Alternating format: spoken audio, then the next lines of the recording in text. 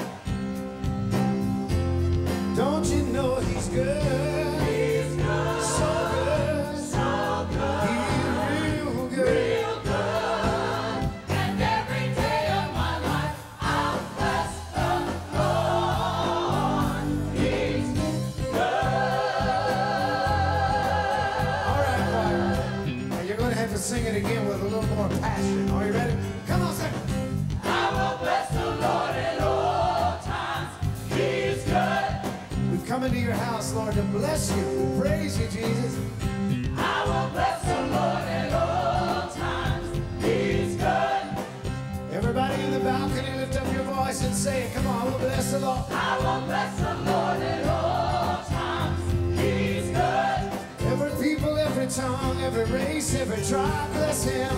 I will bless the Lord at all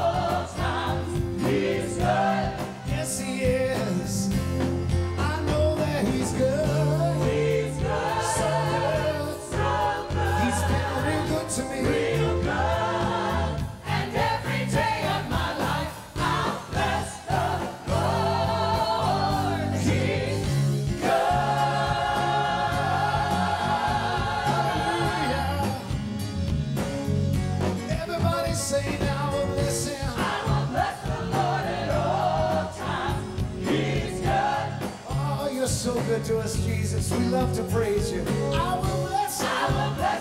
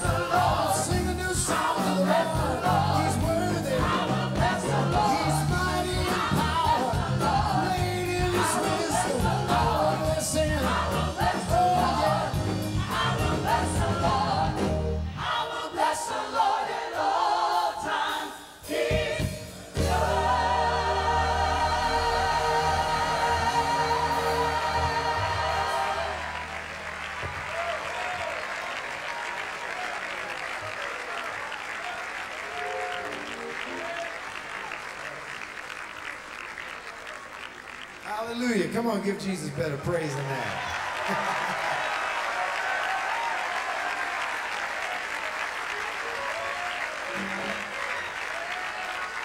Hallelujah. Bless you, Jesus. I praise you, Lord. Hallelujah. I thank you, Lord Jesus. I praise you, Lord. You're worthy, worthy, worthy of all the glory. We bless you, Jesus. We praise you, Jesus. We praise you, Lord. There is none like you, Jesus. Nobody worthy but you, Jesus. We praise you, Lord. Hallelujah, hallelujah, hallelujah, hallelujah. yes, Lord. Yes, Lord. Yes, Lord. Yes, Lord. Well, I went to the enemy's camp and I took back what he stole from me. I took back what he stole from me.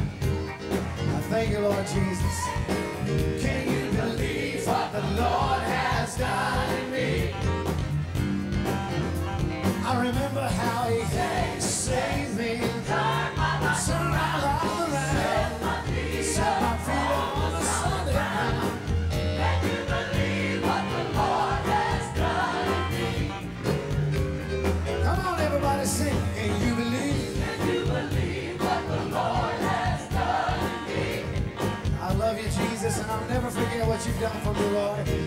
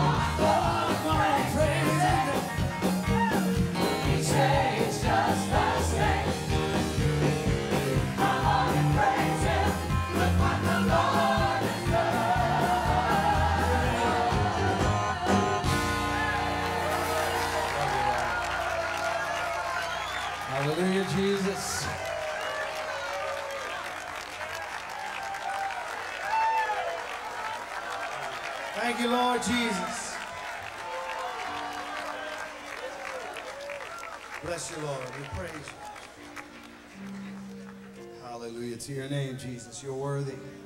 Worthy, worthy, Lord, of glory and honor. Worthy, Lord Jesus. Hallelujah, Jesus. We lift you up, Lord. You're so good, Lord. And your faithfulness endures forever. Hallelujah, Jesus. I bless you, I bless you, I bless you, I bless you, Lord. Worthy is your name, Lord. Oh, beautiful Savior, we praise you. We praise you, beautiful Lord. Hallelujah. We praise you, Jesus. You're good, Lord. You're good, Lord. Yes, you are, Lord. You're so good. Hallelujah. Hallelujah. Bless you, Jesus. I lift my voice to praise you, Lord. Why don't you just do that right now? Come on, lift your voice and praise Him. Praise Him.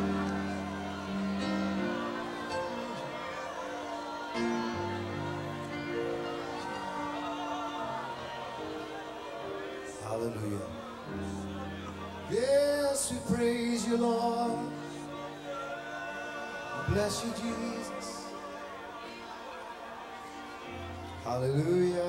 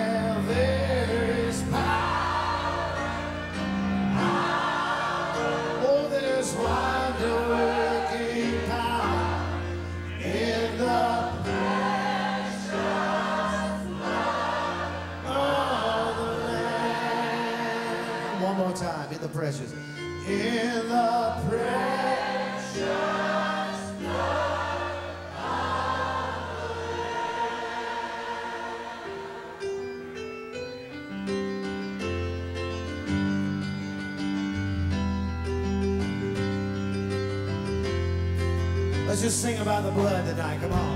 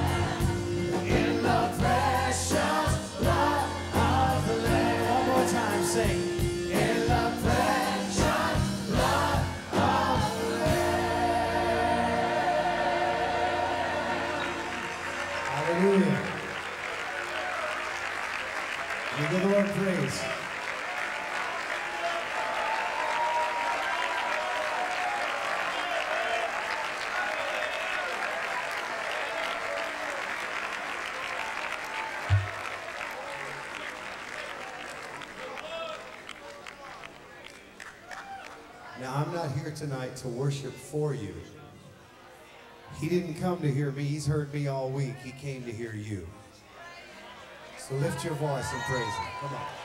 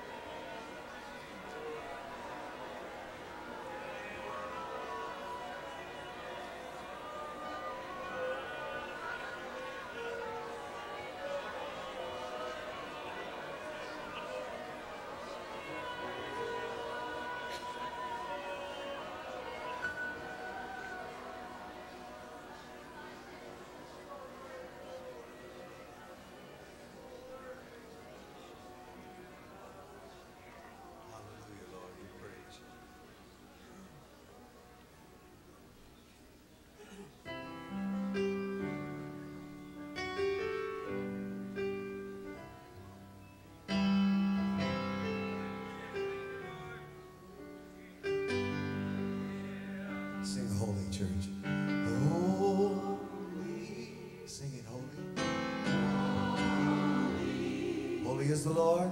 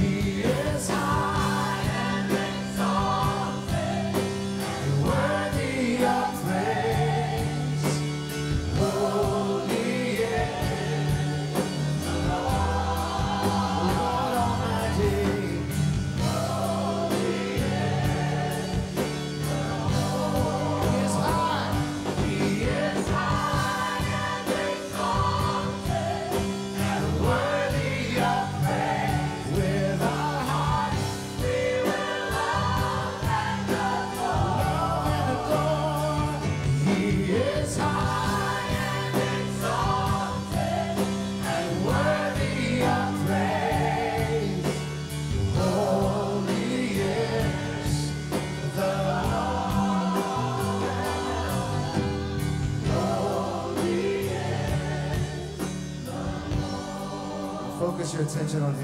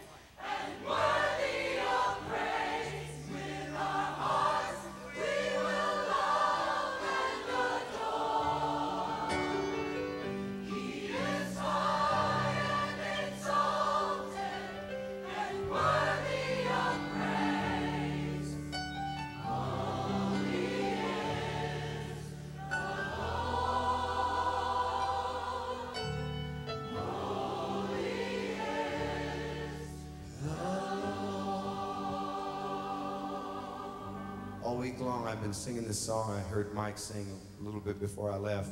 I didn't know the words very well, but I want him to come and sing it right now.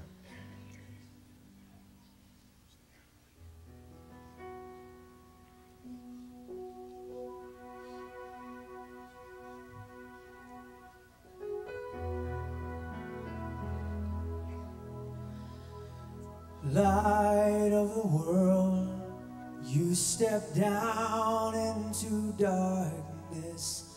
Oh.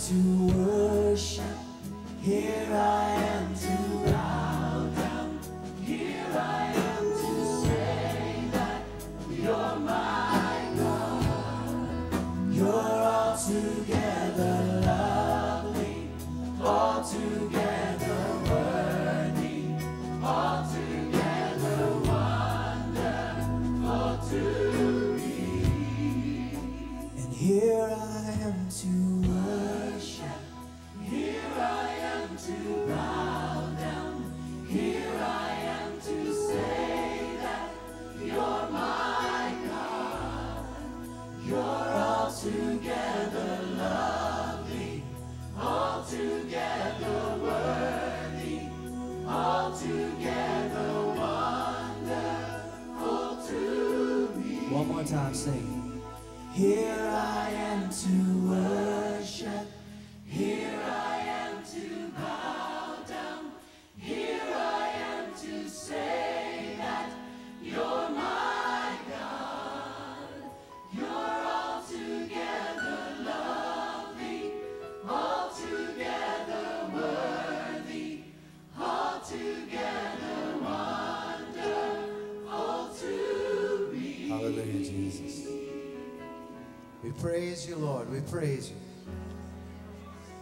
you lift up your voice and praise it. Lift up your voice and praise it.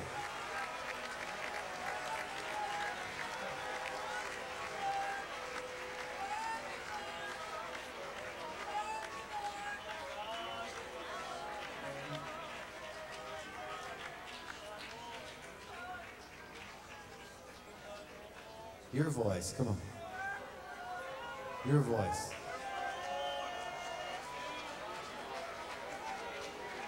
Hallelujah.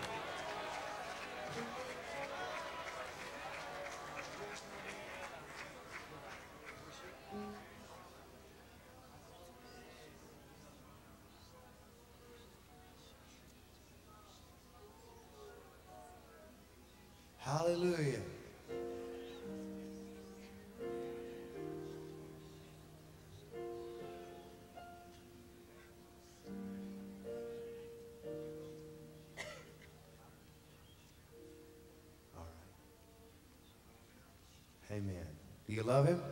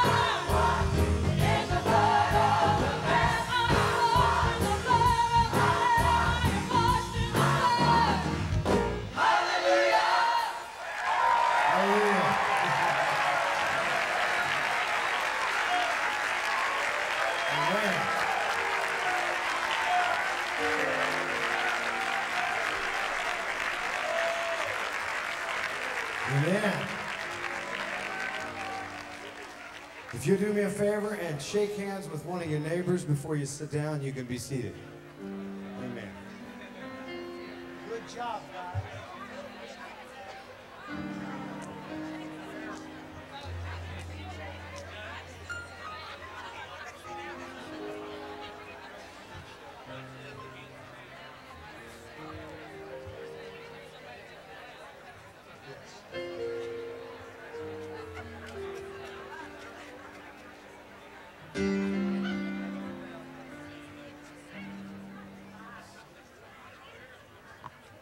Praise the Lord.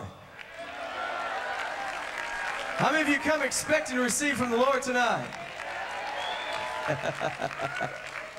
Tell you what, how many, um, we may have already done this, if so, forgive me, but how many uh, first time guests do we have tonight? Let me see your hands tonight. Praise the Lord. Awesome. It's, it's great to have you tonight. Tonight, we're, we're so excited. Our own pastor is going to be preaching tonight in just a few moments.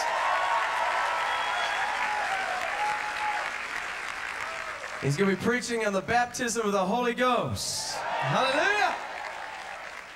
And at the end of the service, we're going to be praying for people to be baptized in the Holy Spirit. Um, we're so hungry here at Brownsville. I was sharing with uh, BRSM's staff today that as Pastor was sharing Sunday morning about his hunger for the moving of the Spirit, once again, my heart just began to throb uh, with expectancy and excitement about uh, what God is about to do in this place. And I know many of you, your hearts were burning inside of you. How many of your hearts were just burning Sunday morning as pastors just sharing? And friend, when he starts crying, I'm just, I'm messed up, friend. I lose it right there, you know.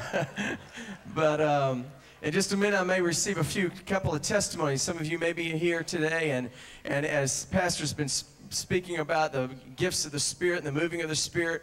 Maybe the Lord's doing some working inside of you, and, and, and we'd love to hear what God's doing in, in, in your heart in reference to this revival or maybe this, this, this fresh hunger of God working in your hearts. And so I may have just a, a few testimonies tonight in just a few moments, but um, I just want to uh, say tonight, I'm so excited that we're going to believe God for an outpouring of His Spirit, for the baptism of the Holy Spirit. How many of you have been baptized in the Holy Ghost already with evidence of speaking in tongues? Is that wonderful or what, friend?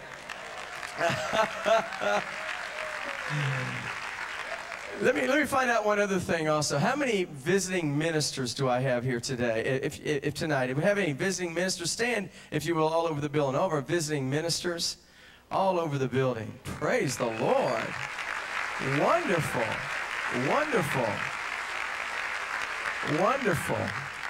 It's great to have all of you here, and we pray the Lord will bless you and touch you in a powerful way.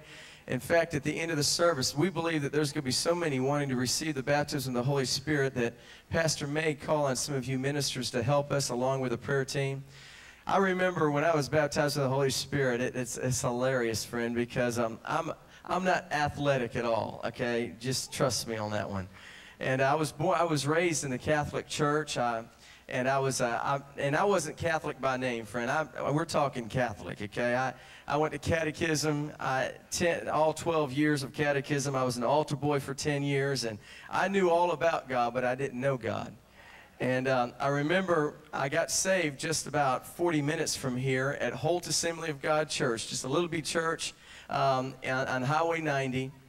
And I remember the night I got saved, there was only 30 people there and we had an evangelist that night. And the only reason I was going to that church is because I liked the girl, and the only way I could go out with this girl was to go to church with her. And so on Sunday morning, I was an altar boy in a Catholic church, and then Sunday night, I was going to this Pentecostal Assembly of God church, and I was, you know, I was like a cat in a dog pound. I had no idea what was going on, and but I liked this girl, you know, so I just kept going back, and even though it petrified me, and I remember the night I got saved, there was an evangelist there, and I don't remember what he preached, I don't remember what he said, but all I know is that something was happening inside of my heart. And uh, he comes to the altar call, and, and like so many preachers, he lied and uh, he said, uh, he said, I won't embarrass you. Know, I thought, okay. And he said, if, if, if God is dealing with you, and I don't know exactly the terminology, but I knew that God was doing something. He said, raise your hand. So I raised my hand. He said, I see that hand, young man. I thought, of course you do. There's only 30 of us here, you know. and and then, like I said, he lied to me. He said, Now, if you really are serious tonight, come down. And I remember I was in the third pew, and it was five miles down to that altar, friend. And I, I can't explain it. You know, a lot of times people say, well, why do people shake and why do people, you know, react to the Spirit the way they do? I can't explain it, but I can't explain how at 16 years old, I got up out of a third pew of a little bitty Pentecostal church. I got up out of that pew, a sinner Catholic. Not that the Catholic religion's bad, but I, was, I didn't know God, friend. I got out of that th- third pew and I walked down that long aisle to that altar and I, I got down there and I cried a bucket of tears. When I knelt down, I was a sinner. When I got up, I was a new creature in Christ Jesus. I can't explain it. All I know is that it happened. And I was, uh, you know, I was just a Catholic boy. I didn't know, you know, that you had to really struggle to receive the baptism of the Holy Spirit. And, and I think it was the next week, maybe it was just a couple of weeks, but it was just a week or two um, that, uh, that I would come. And I remember I'd get saved every, every week, Pastor. I would come down there, I'd cry a bucket of tears every week. And, and I, just, I just wanted to be right with Jesus. And I had a hunger for the Word of God. And um, I remember it was just a week or two after that when I received the baptism of the Holy Spirit. I'll never forget it, friend, because, because I astonished myself. I, back then, I, I thought I was real cool. I was, I was, I was the John, John Travolta look-alike, friend. I, I, I, had the, I had the white suit, Pastor and the big tall heel shoes, you know, and and the pink silk shirt, and the, you know, I, I was decked out, and I had a fro out to here. I mean, I, I had a fro, friend, and I was a sight to behold. And uh, my young people still tick, up, you know, they, they tease me. They call me Disco Crisco. But anyway, I,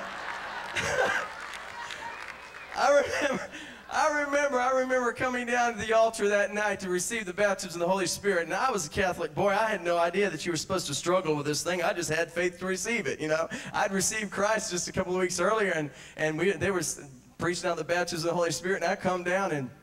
Uh, I, I remember asking the Holy Spirit to, uh, you know, to fill me with the Holy Spirit. I, I said, Lord, I give you everything I have, and I want everything you got. And I remember he, I, I, got filled with the Holy Spirit, started speaking in tongues. Now, friend, I can't do this. Don't even ask me to do this, but this is honest goodness truth. I was standing there, and I did a backwards flip and landed on my feet, friend. Jesus filled me with the Holy Ghost, and I've never been the same again. Never been the same again.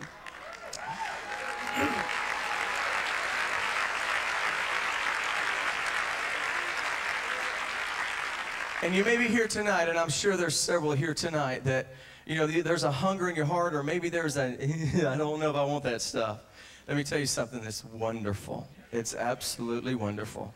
I don't know what I would ever do if I did not have the infilling of the Holy Spirit in my life to just to guide me and direct me. And so I'm excited about what God is going to do in this place tonight. And uh, I just want to build your faith tonight as we just uh, prepare to receive the baptism of the Holy Spirit and whatever else God wants to do in this place.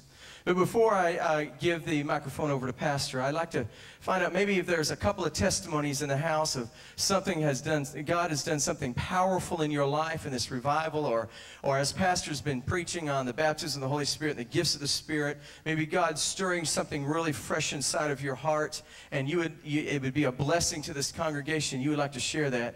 Uh, I'll take a couple of testimonies maybe very quickly. If, if that's you, if you got a powerful testimony, what God's been doing in your life, if you'll raise your hand. Right back here. Come on up, sister. Right, real quick, all, uh, real high, up in the balcony. Of anybody, just a, something powerful that God's been doing in your life, brother, up in the balcony. Come on up here. Come on up here, brother. Amen. One more, right here. That'd be good. Um, we just want to build your faith. You know, I don't know about you, but I love to hear testimonies what God's done in other people's lives.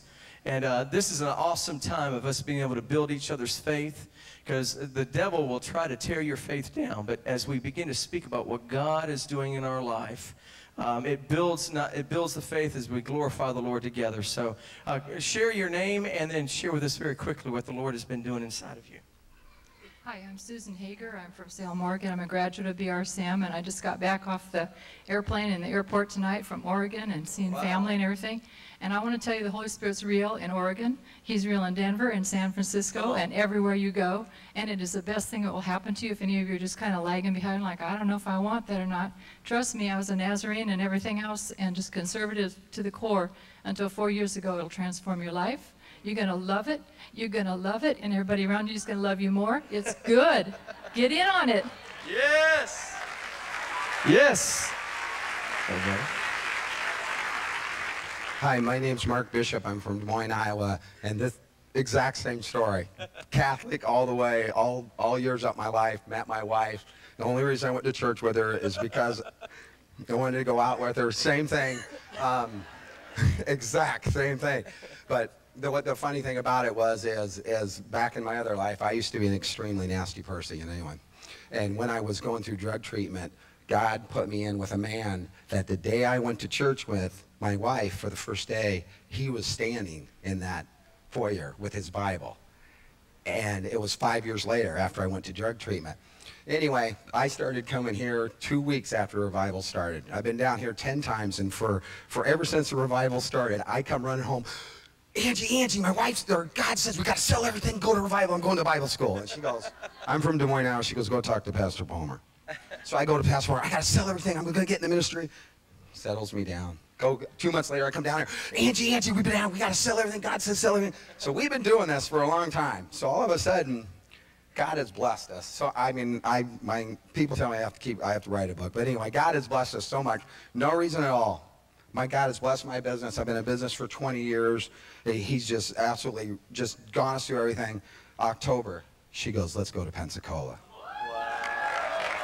And I'm like, why? And she goes, it's time to sell everything and follow God. And I'm like, yes. And I'm enrolled in school. I start, I start here. I start school. I've been doing children's ministries for eight, nine years now. And God said, sell it. We sold everything. We sold everything we got. We packed up. I gave away a 20-year-old business that I've had, just wiped it out. I'm down here. I'm making one-tenth of what I made up there, and I am more happy down here than I was up there. Praise God. Praise God. And real quick, I'm to like I say, we're just like each other, brother. Joyce Myers, go down. She says, you want to you want to be filled with the Holy Spirit? Go for it. And I'm down there and I'm praying, God, fill me with the Holy Spirit. And this woman walked up to me, and people say, I don't remember. They said you went two feet up, seven feet back, fell flat on my back, and I was out for two hours just. And I don't remember nothing, but I know when I got up, man, it's totally different. Praise God for it. God bless you.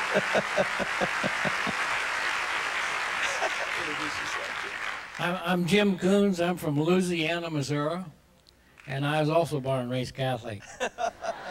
Catholic Eh, But uh, I, I was ministering in a church up in Pleasant Hill, Missouri, and they wasn't receiving the healing message. So I said, God, you're going to have to let me get sick to show these people you heal. Don't ever say that. Three weeks later, I thought I had the flu. I, I was driving a school bus and I was going past my stops. I was stopping before them. I was really messed up. I went to the doctor and because I thought I had the flu. And he said, call your wife. You're going straight to the emergency room. I had a glucose count of 953. And I drove the bus that morning. And I, I don't even remember checking in the hospital. But while I was there, the mayor of the town come in, and everyone that come in said, "Boy, there's there's something in this room." And I said, "That's my guardian angel." And I got out of the hospital, and they had me on insulin, 30 units in the morning, 30 in the afternoon, and then I just told God, "I know I'm healed." Then one morning, I was in the bathroom, and my wife come in there, and I was just praising the Lord. I lift my hand, and she said, "What are you doing?" I said, "I'm praising God," and He gave me a scripture, and that scripture is Psalms 107, verse 20. Is I, it says, "I sent my word, and healed you, and delivered you from your destruction." So I quit taking my insulin immediately. Quit taking it. 30 units in the morning, 30 at night. I went to the doctor. And he said, What are you doing? What are you doing here? I said, I quit taking my medicine. He said, You did what? He didn't say those words, but you know, he said, "You get in that room, and I'll be in there in a minute. We'll we'll see what's really happened." So he he took my blood, went in there and put it on the machine, and he come in here in the room and said, "What'd you say happened to you?" I said, "God healed me." Praise God. And he said, I don't believe it. And he cussed. He did all kinds of things. He said, Give me some more blood. I'm going to send it to Kansas City. And you come back Monday morning and I'll have the answer for you. So Monday morning, I was in his office. He come in the room. He said, What'd you say happened to you? and I said, God healed me.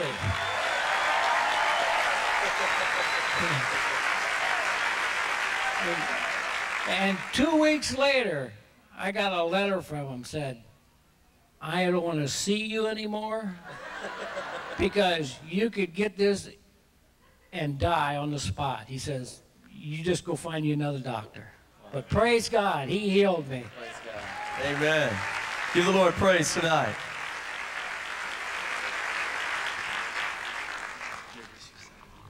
I'm Denise Bumpers. Um, I was introduced to Brownsville in um, 1999 through Waterfront Rescue Mission for Women, um, which where I was staying. And um, when I first came here, it was a trip. it was a trip. I didn't like it. I didn't know why I was here. I didn't understand the music. I wasn't used to all that. It was strange. It was new. And um, when I first came, I had joined another church, which uh, I've been in and out of church all of my life, and um, but I always try to get undercover in a church. And I joined a church, predominantly black church, and uh, after I've been in Waterfront Rescue Mission, I stayed there a year. And as I continued to come to Brownsville, I felt when I found out that they had Sunday school, it blew my mind. And I was like, found out there was so many different Sunday schools. I had never had that type of experience. And so I was, I, I was gung ho. You know, I really wanted to be here, if for nothing else but Sunday school. And when I began to come to Sunday school, the Lord began to draw me. And um, I struggled with that because I thought that I was all right where I was or where I had planned on being. And um, I joined that church and I asked the Lord, I said, well, Lord, uh, you know, what's going on? Why do I feel I'm led to be here. You know, these ain't my kind of folks, and they don't sing my kind of music, and you know, everything is different up in here. You know, and um, the Spirit of the Lord spoke to me and said that I was here because I was breaking tradition. I was breaking tradition.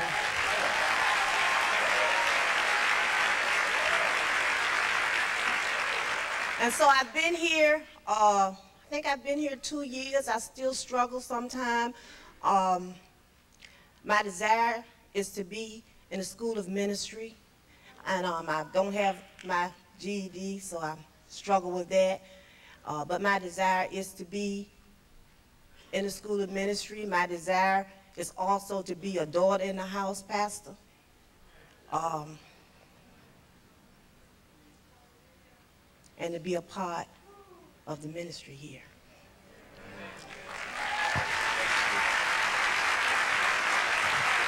Hallelujah. Give the Lord a hand clap of praise. Come on. Come on. Thank you, Jesus.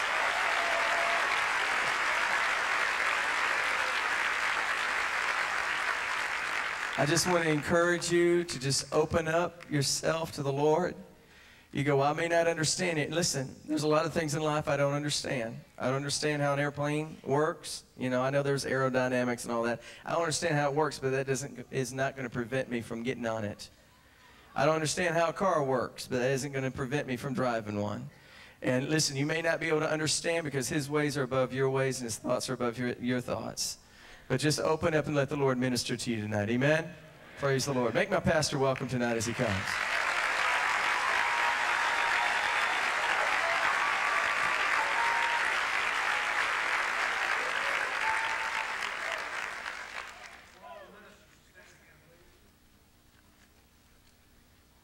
Ministers to stand again, please. I want to see you, all the ministers. Some of you didn't stand a while ago. Hallelujah. Those that's in the ministry full time, I want you to come forward. Those of you that's in the ministry full time, I want you to come forward here for just a moment. I'm going to have the congregation pray for you. I'm going to lay my hands on you and pray for you. Before we go any further, there's a good group of ministers here with us tonight. We're not going to take a long time doing this, but this is something that the Lord laid on my heart to do, so I'm going to do it. I'm going to ask everybody to stand, please. Those that's in the ministry full time, you're a full time minister? Hallelujah.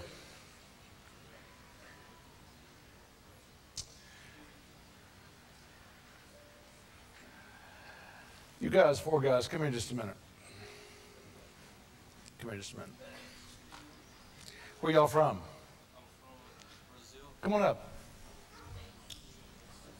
I need my mic. You're from Brazil? Come on up, guys. Just stand up here with me for a minute. Hi. God bless you. Good to have you. Hi. Good to see you. Do any of you speak English?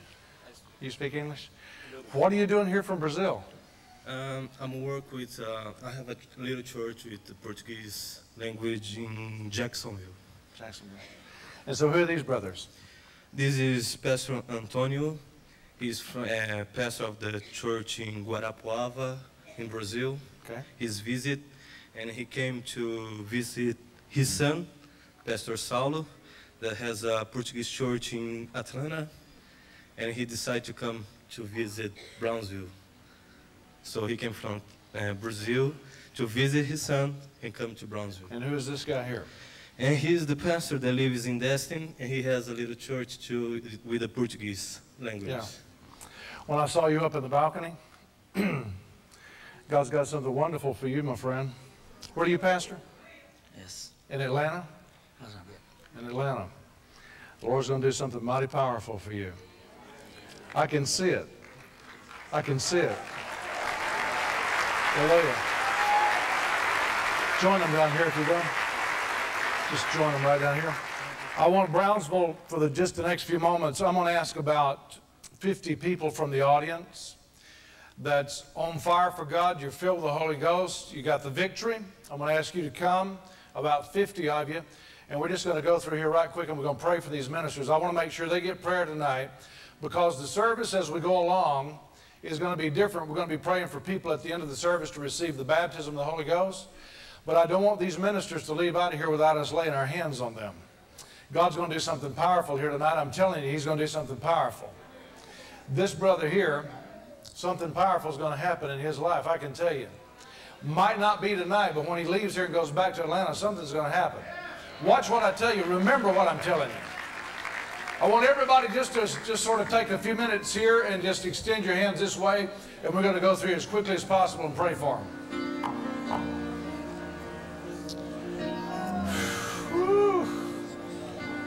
Hallelujah.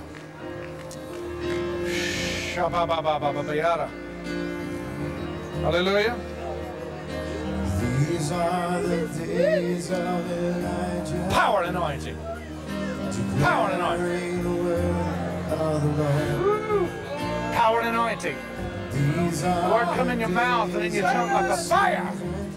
Moses, righteousness. Hallelujah. Oh, these are days ah, of hallelujah. Sometimes a plant gets too much water, turns yellow and drops its leaves. Still we are Sometimes God has to put you in different soil. Everything clears up. You get waterlogged. People need what you got. Hear me? People need what you got. Don't turn yellow. And start dropping your leaves. Yeah!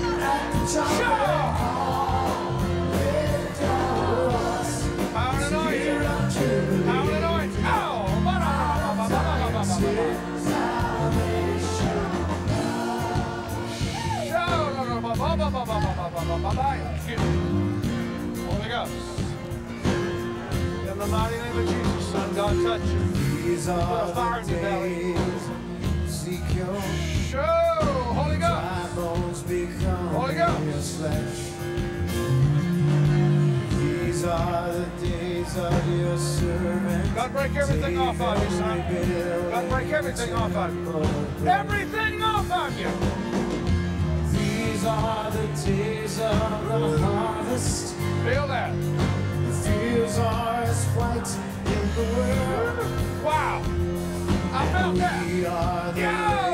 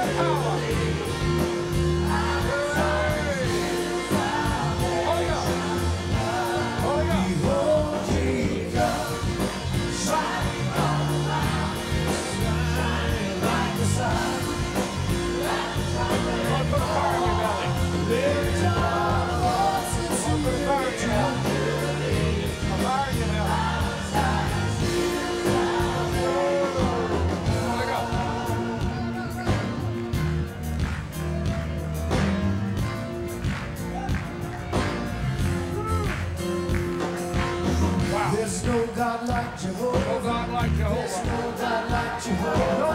There's no God like Jehovah. There's no God like Jehovah. There's no God like Jehovah.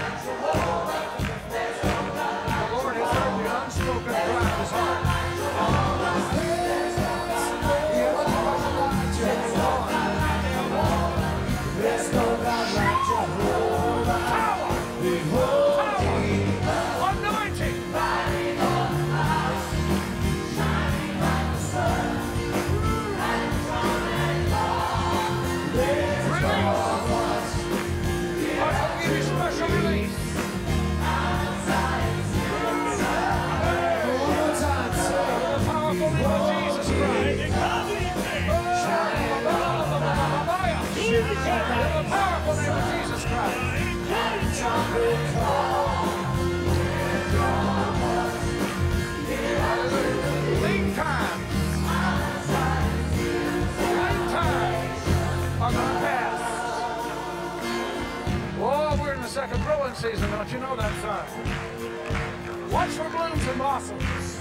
There's another harvest coming. There's powerful image.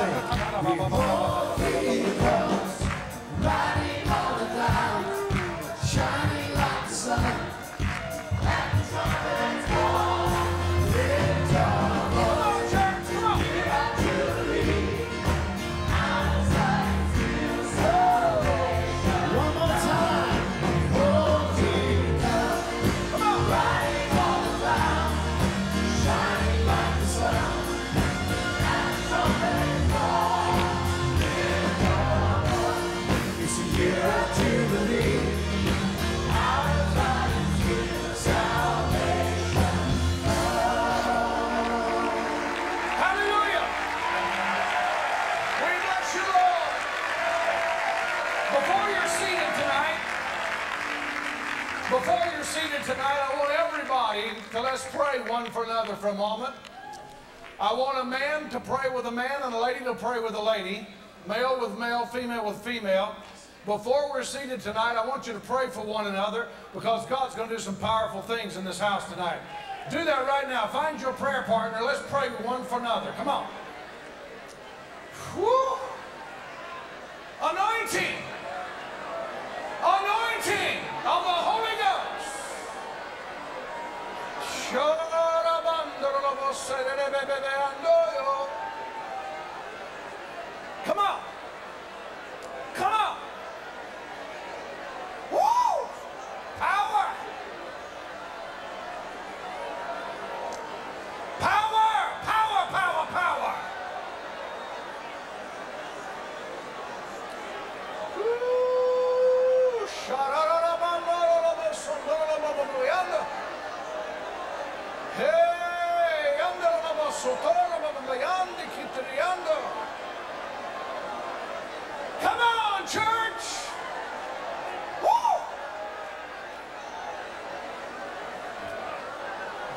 you.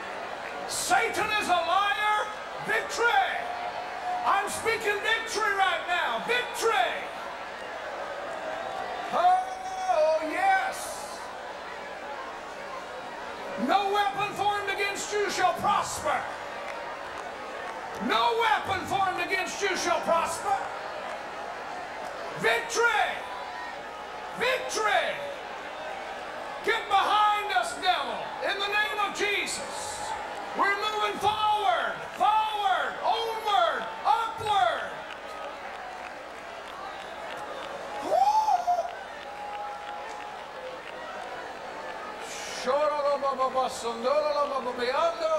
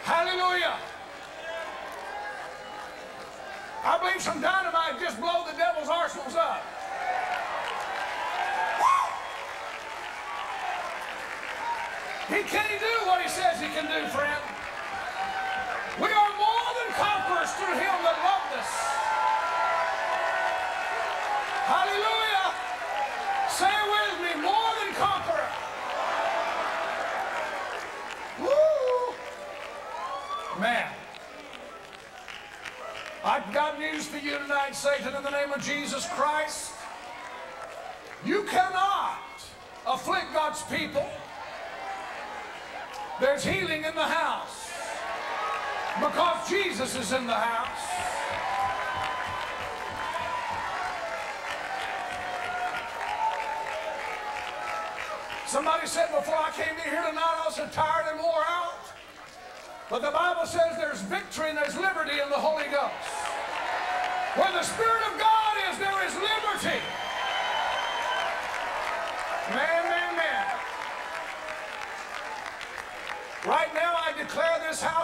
Satan's own.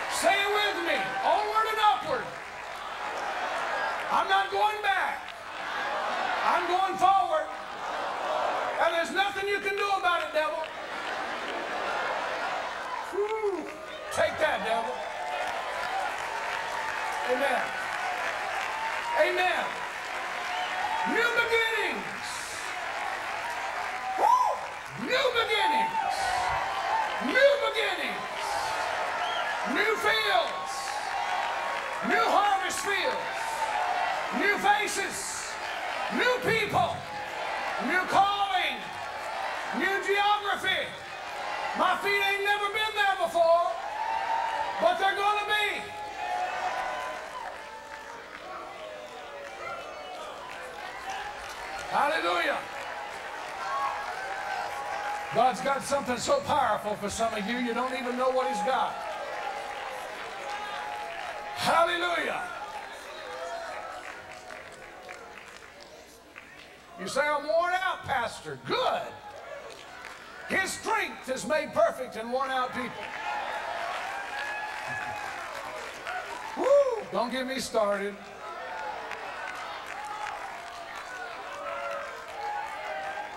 Hallelujah. I don't know about you, but I'm glad to be here tonight. Mark my word, the Lord's going to fill some of you tonight with the baptism of the Holy Ghost. Some of you sought it a long time, some of you's wanted it a long time, and you've never received it, but you're going to receive it tonight. We're going to pray, we're going to pray for you. We're going to lay hands on you. It's the most wonderful thing in the world. Some of you have a wrong concept of the baptism of the Holy Spirit. I pray that the Lord will just uproot that tonight and cast it away and give you a brand new concept of the baptism of the Holy Ghost. Baptism in the Holy Ghost is the most wonderful thing that could ever happen to a Christian. It will change your life. It will rock your world. Amen. Right now, though, we're going to receive the offering. And I'm going to read the tithe. Well, go ahead. It's all right.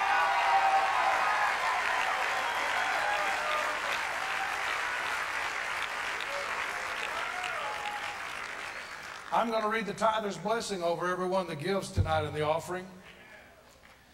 I want you to prepare your offering. We're going to give it to the Lord. If you need a financial breakthrough, get ready. Is John Michael in here? He stepped out.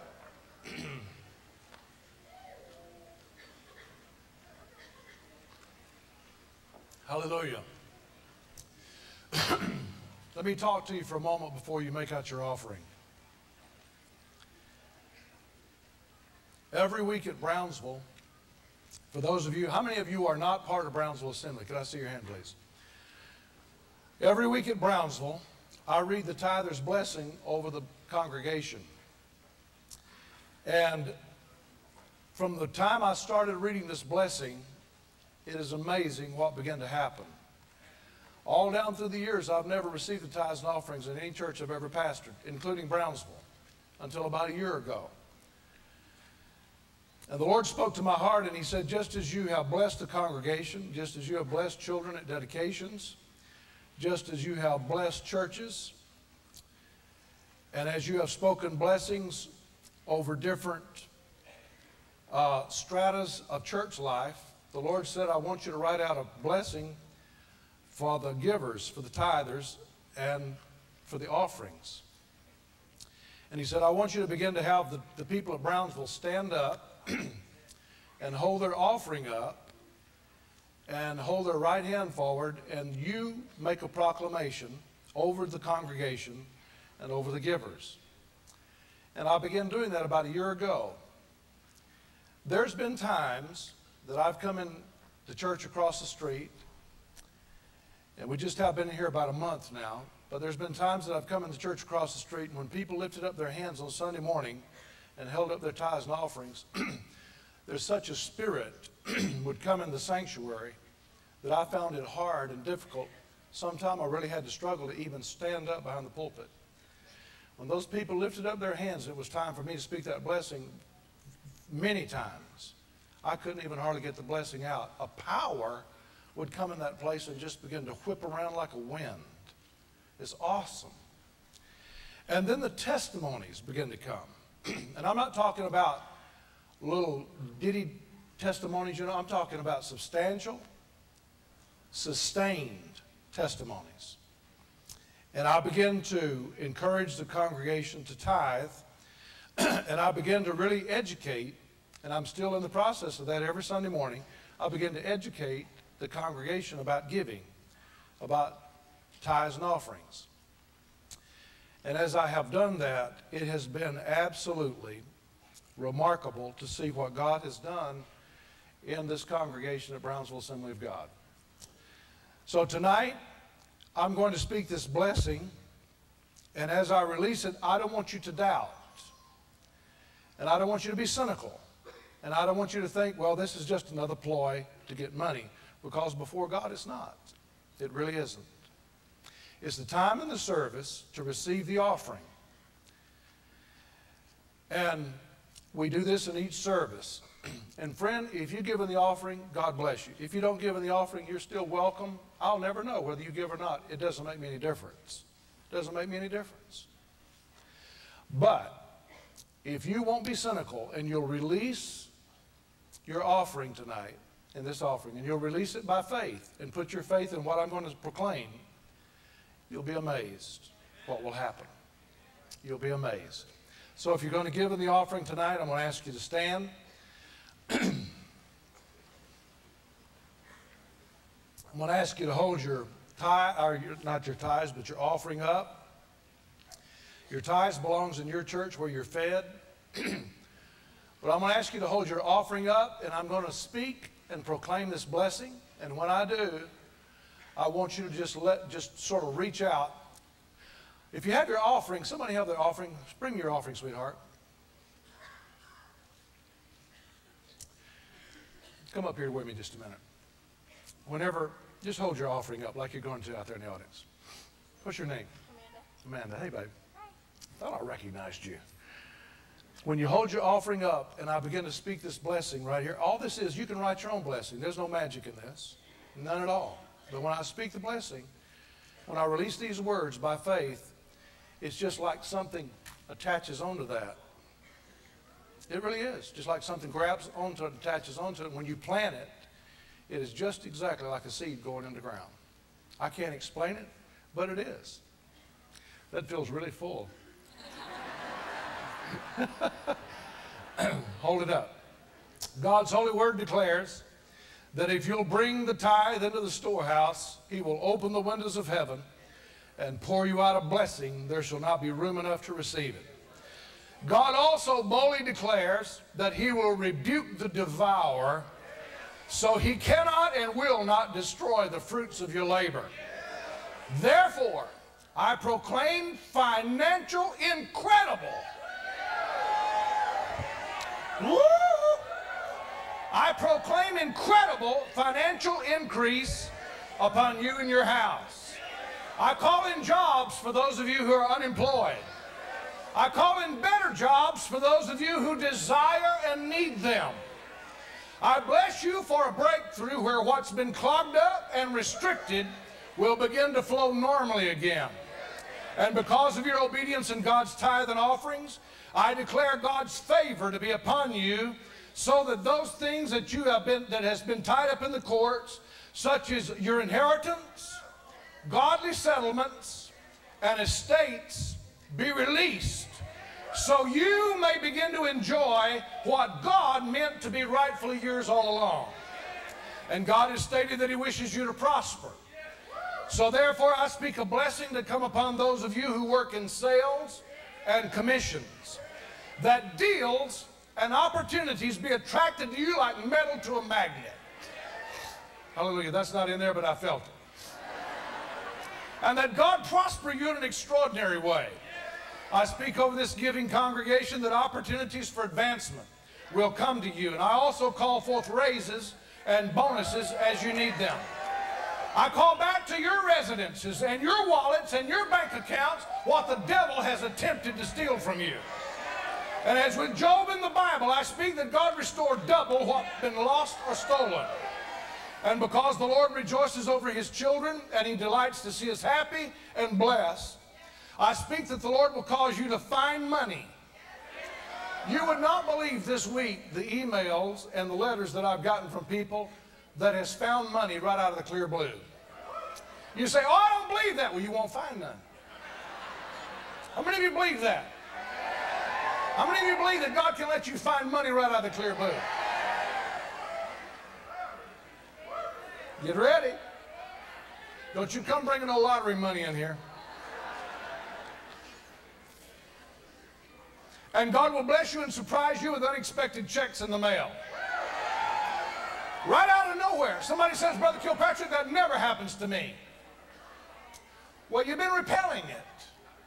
Start believing it, and all of a sudden you'll say, Whew, what in the world is going on? For those of you that God has blessed as entrepreneurs, may your mind be inspired with God ideas and God inventions so that you can prosper. And for those of you that own your own businesses, I speak that God begin to bless your business so you can bless your employees with good pay and package benefits. I speak a spirit of abundance upon this congregation that God miraculously, and I say miraculously, bring you out of debt. So that the stress of debt and the burden of debt will release your minds and that you will come into a new peace and a new reality of financial freedom like you've never experienced in your life. May you and your house begin to enjoy plenty so you may give liberally and generously in offerings as well as alms to the poor. I bless you in the name of Jesus. Now come and bring your offerings into the storehouse.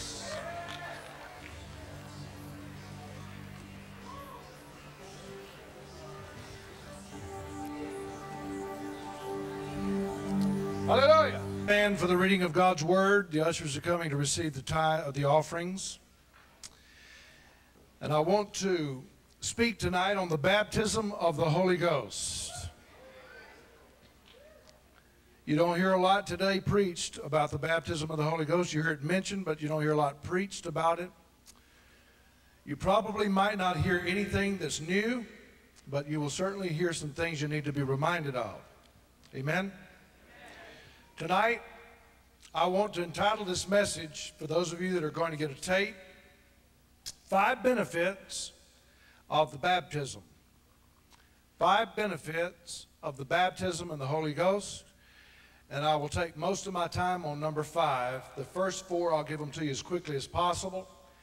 There's going to be a lot of scripture reading tonight. I just can't really preach too good without reading a lot of Bible. That's just the way I am. I can't help it. I don't apologize for it, but I like to give the word to give confirmation to what I'm saying. Amen? so I don't think anything preaches as good as the word of God anyway.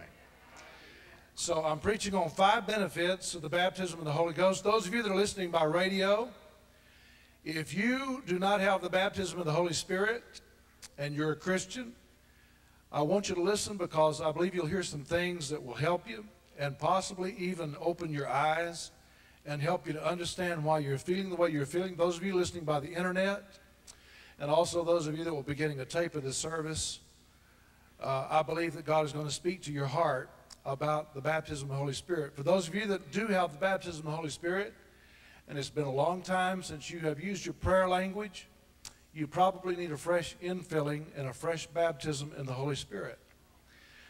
This hour that we're living in requires that we must move in the realm of the Holy Spirit.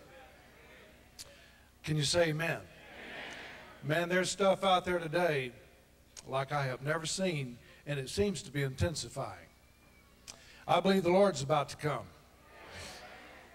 Acts chapter 19, verse 1.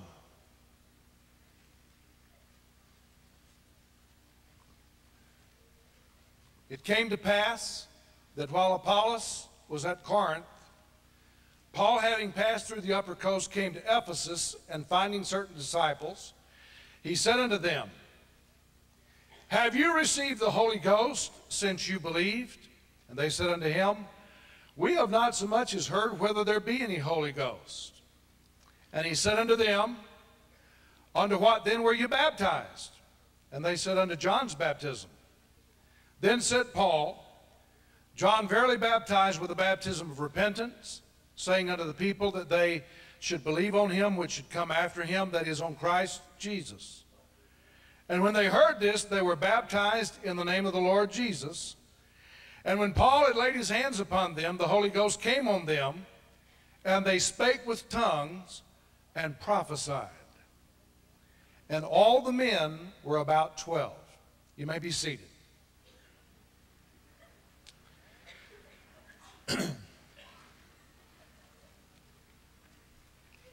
Today, there's a lot of churches and a lot of ministries that refuse to preach tongues, that refuse to preach the baptism of the Holy Ghost. Now, why? I don't know. Because it is biblical, it is scriptural. The days of miracles, the days of people receiving the baptism of the Holy Spirit has not passed away. It is still relevant and apropos for today, just like it was 2,000 years ago. How many of you understand we're still living in the church age? And I believe that the church of today needs the baptism of the Holy Ghost as bad or maybe even worse than the early church did. They had a lot of violence they had to deal with back then. They had a lot of um, demon possession they had to deal with and all kind of things like that. You read it in the book of Acts. But today, there's so much. There's drugs, there's pornography, there's alcoholism, there's demonism, there's all kinds of false doctrines being vomited up out of hell, and it's covering our land like a thick fog, a demonic fog. And I believe that churches that continue to resist the Holy Spirit and the fullness of the Holy Spirit, I believe they'll have to give an account to an Almighty God one day before too long. Many people today are ashamed of the things that accompany the baptism of the Holy Spirit. As I said before, many churches like to pick and choose what they will receive and what they're comfortable with in regard to the Holy Spirit. They'll say, I'll take the comfort, I'll take the, um, the fruits of the Spirit, and I'll take the um, presence of the Lord, I'll take the chill bumps, I'll take the, the tears running down my face.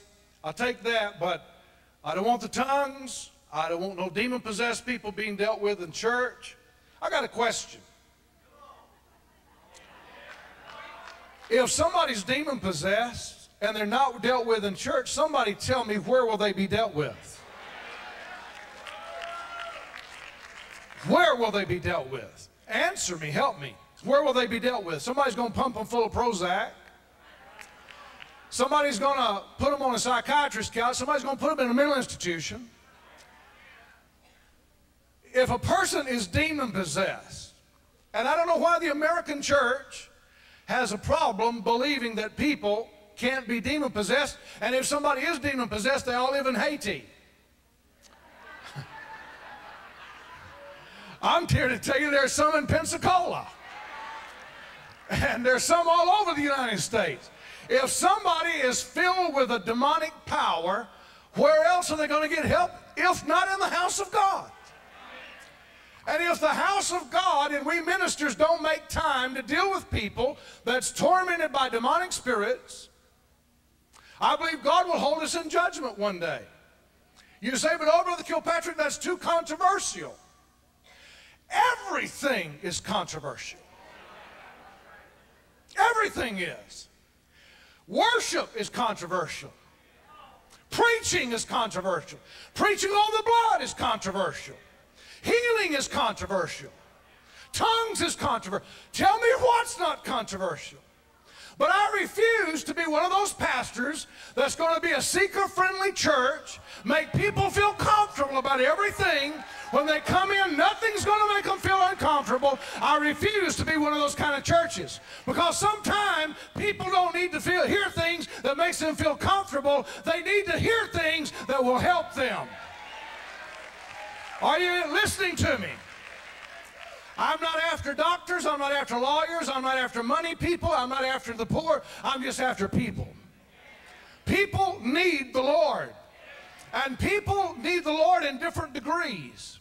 And I believe no matter what church they attend, they ought to be able to find help, and there ought to be enough power in that church to deliver that person and to set them free and help them become the person they want to become. And it's not a 10 step program. AA won't do it, friend. And a seminar won't do it, and counseling won't do it. It's going to take the power of the Holy Ghost. I tell you, one of the things that is needed today in churches across America and around the world is for God's people to have a power encounter with the Lord. That's the only thing that's going to change people.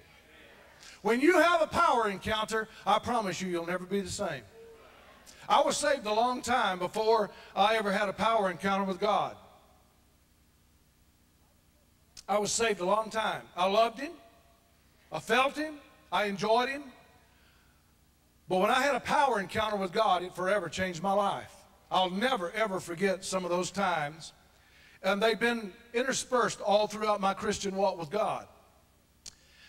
My father left us when I was real young, and I, I was brought up and sired up, mentored in the ministry under my pastor, Reverend R.C. Wetzel. His brother-in-law, uh, my brother-in-law, is his son.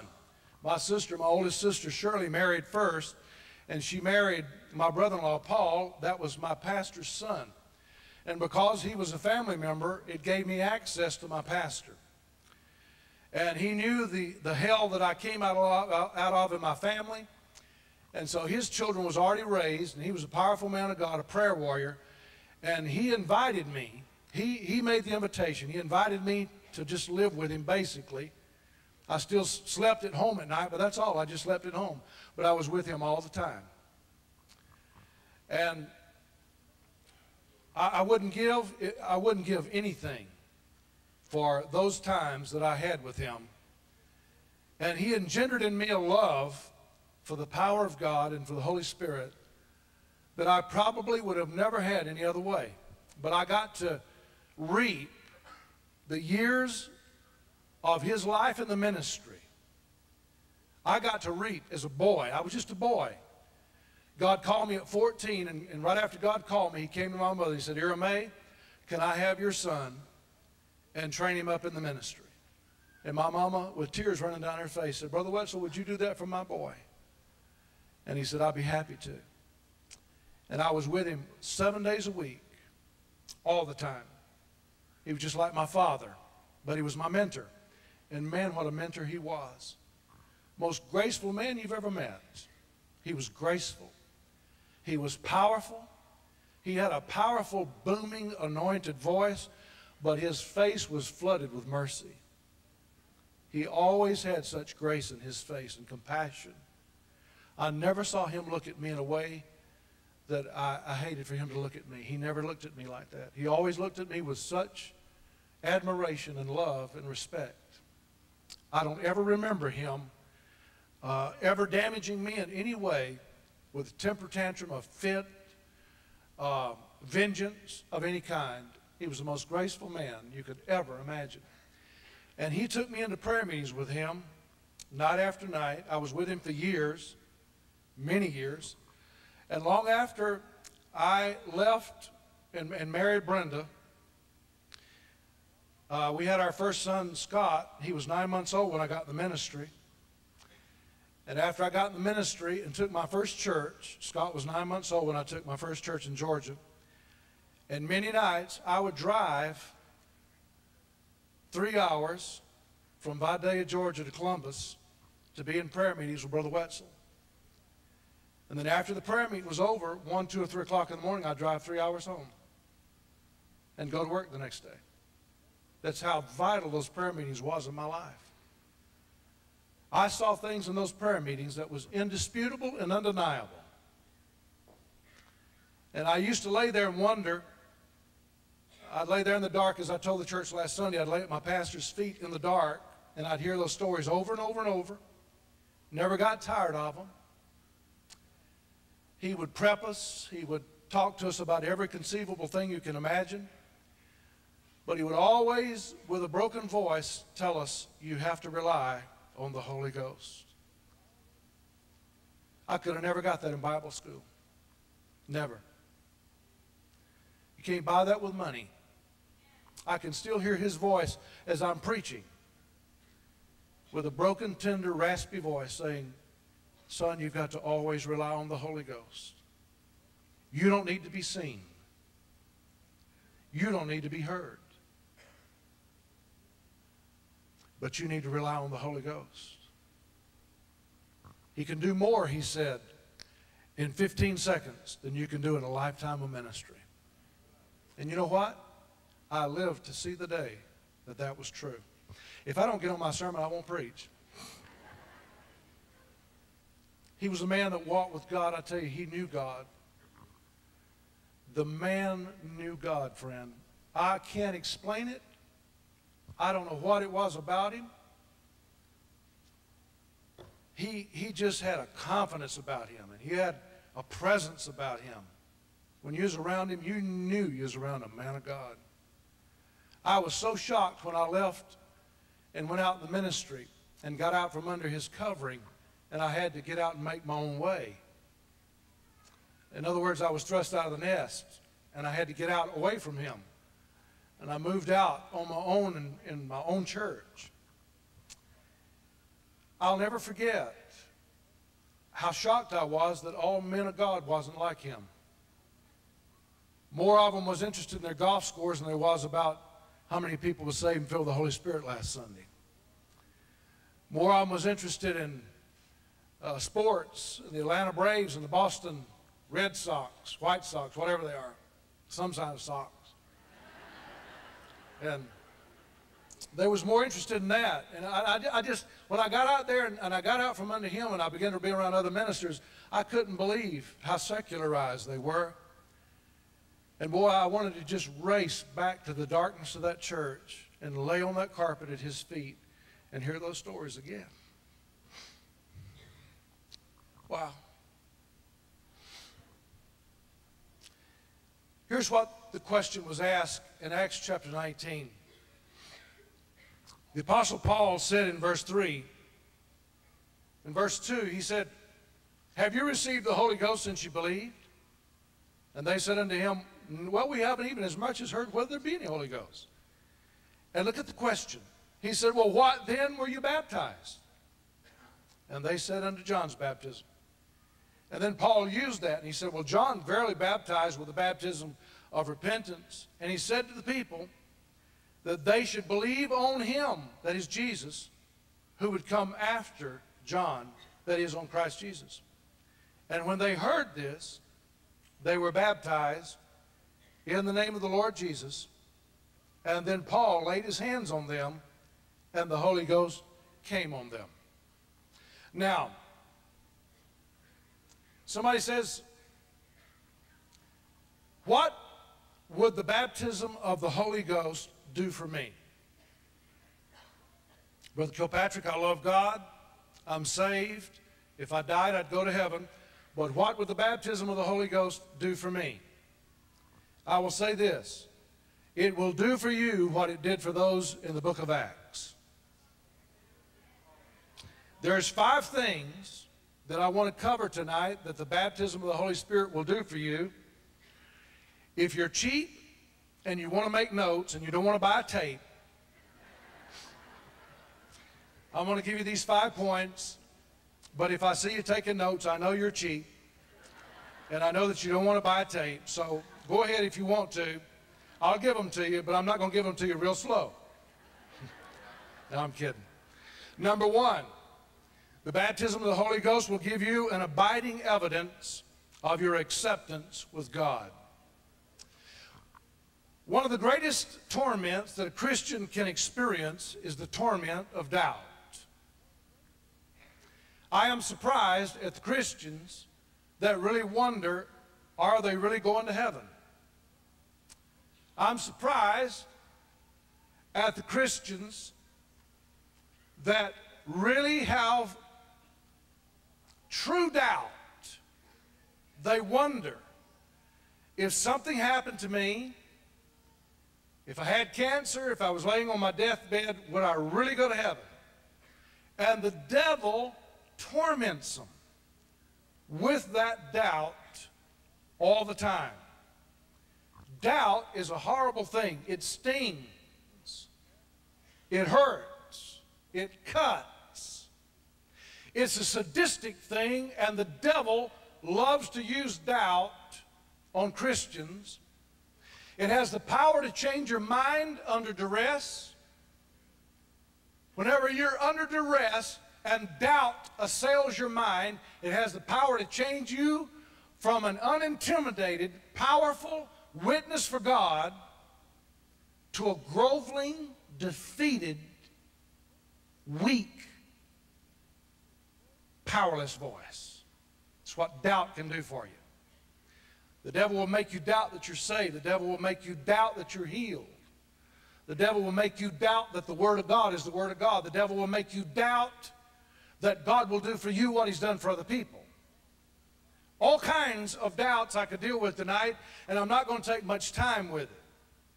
I remember one time, right here in Pensacola, uh, back in the early 80s, I hadn't been to Brownsville long, but I had been here long enough to pastor one of the sweetest little Christian women you've ever met.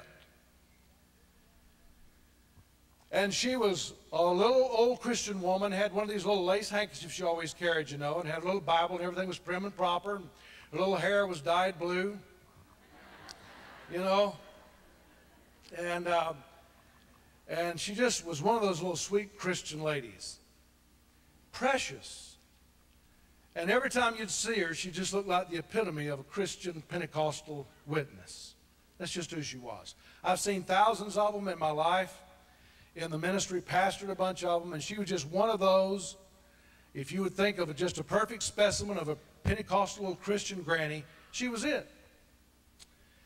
But she took cancer and she started dying. And I went to visit her several times at home, and I prayed with her.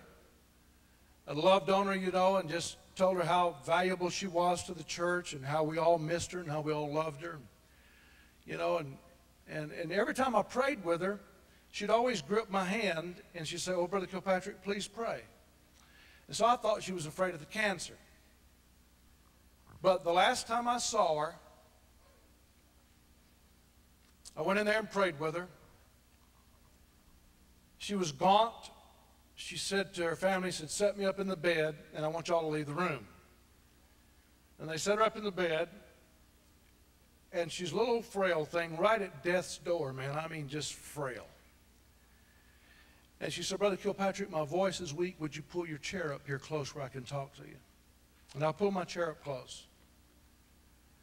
And she said, I've got to come out with it before I die. I said, Come out with what? She said, Brother Kilpatrick, I'm not sure I'm going to heaven. I said, What? She said, I'm not sure I'm going to heaven. I said, No, how did you come to that conclusion? I just talked real bold to her because I knew that whatever was in her mind had not just come there, it had been there a long time. So I knew if I was going to help her, I had to sort of bark at her a little bit. And so she said, I'm not sure I'm going to heaven. And I said, Now, why do you say that? She said, Well, a long time ago, and she told me the story. And she told me that she had been involved with a man years ago, and she was married, but she got involved with another man. And she said it wasn't but a time or two, and it was over. And she said, I asked the man to please forgive me, and I asked my husband to please forgive me. But she said, Brother Kilpatrick, I'm dying now. And she said, I believe that thing's going to send me to hell. I said, Have you ever asked the Lord to forgive you? She said, Thousands of times. I said, You didn't need to ask him but one time. She said, Sure enough.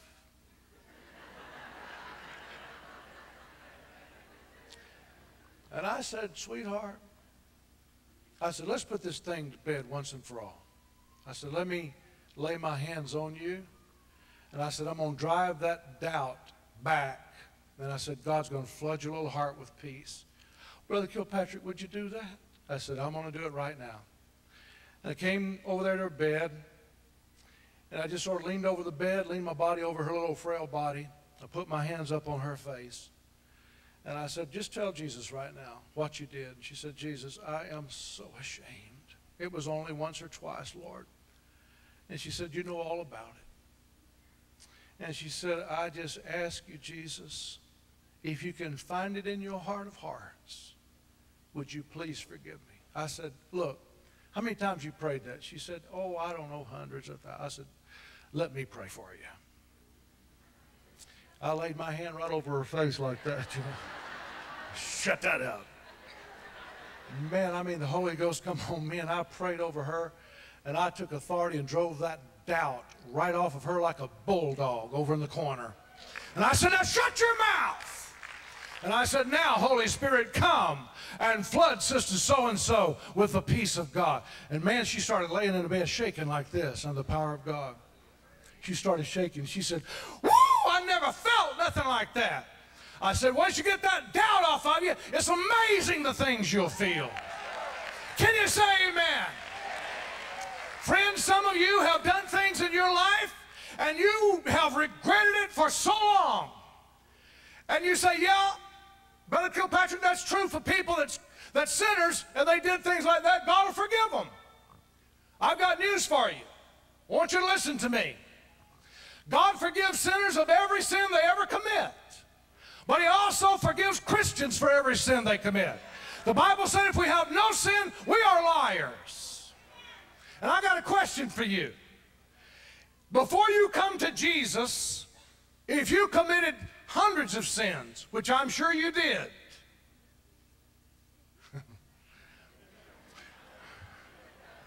I hear people millions, millions, millions, millions, Pastor.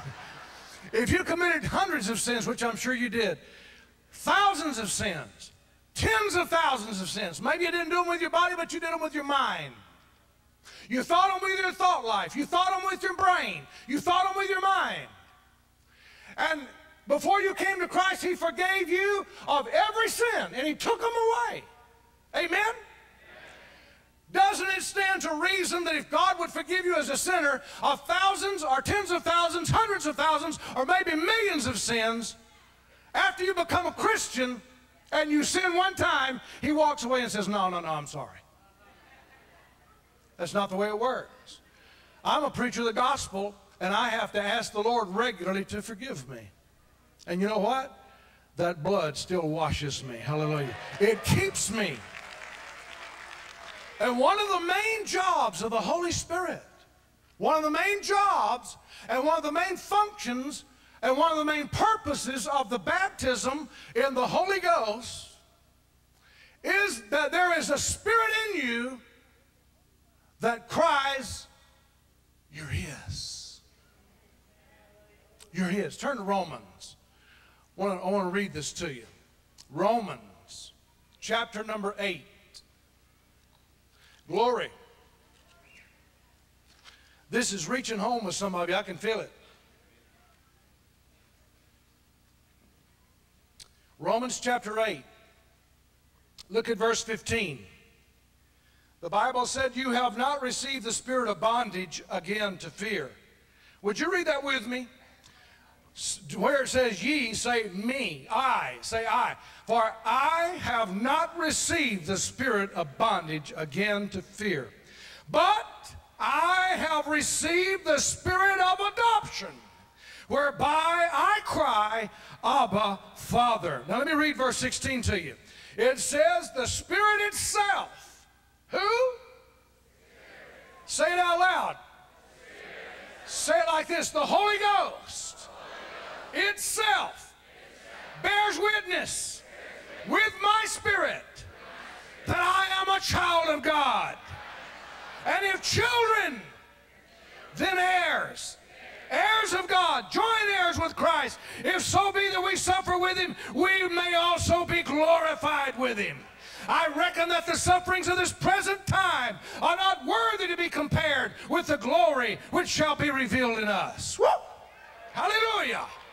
The Bible said the Spirit itself bears witness with my spirit that I am a child of God. One of the main functions of the baptism of the Holy Ghost is He takes that nagging doubt away.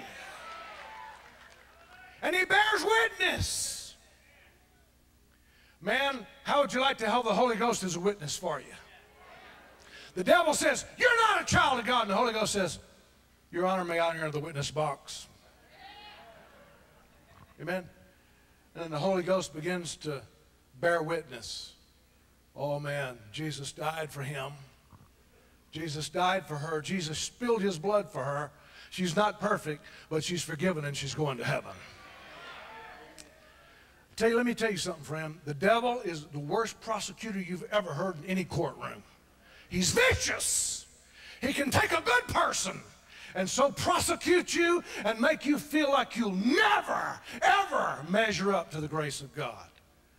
But oh, Jesus is such a faithful witness. Oh, hallelujah. Somebody help me tonight. I said, Jesus is such a faithful witness. he steps up and he says, they're washed in the blood, and they're forgiven, and they're bound for heaven, whether they feel like it or not. I want to tell you something, friend. If you're a child of God and you repented of your sins, and you may not be perfect, and there's none of us that's perfect. If you die, you haven't got but one place to go. You don't get out there in some kind of ethereal world, and heaven says, What do you think? And Jesus says, I don't know. I, don't know. I, I never really did care much for him when he was living.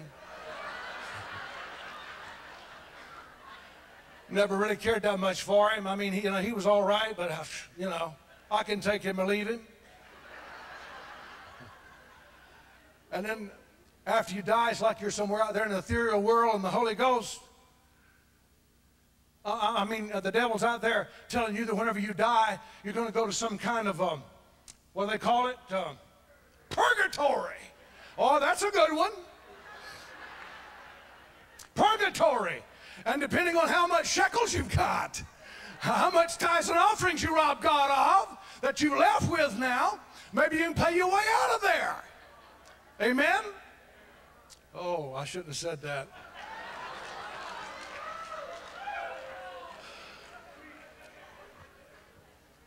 If you're a Christian and you have repented of your sins and you believe that Jesus Christ is the Son of God and you die, you hadn't got but one place to go, and that's heaven. Amen? If you're a Christian and you love the Lord, you say, but does it matter what grade Christian I am? What caliber of Christian I am? Friend, I don't read anywhere in my Bible about different grades of Christians. You're either lost or you're saved. And if you're saved, you're not perfect, but you're saved. So here's, here's my argument. If the Lord forgave you of millions of sins before you became a Christian, doesn't it make sense after you become a Christian, if you really flub the dub and really mess up, doesn't it make sense that if if he forgave you of millions, he'll say, I can take care of this too. And you're forgiven. One of the things that the Holy Ghost does, one of the functions of the baptism of the Holy Spirit is he bears witness with your spirit that you're a child of God and the doubt passes away.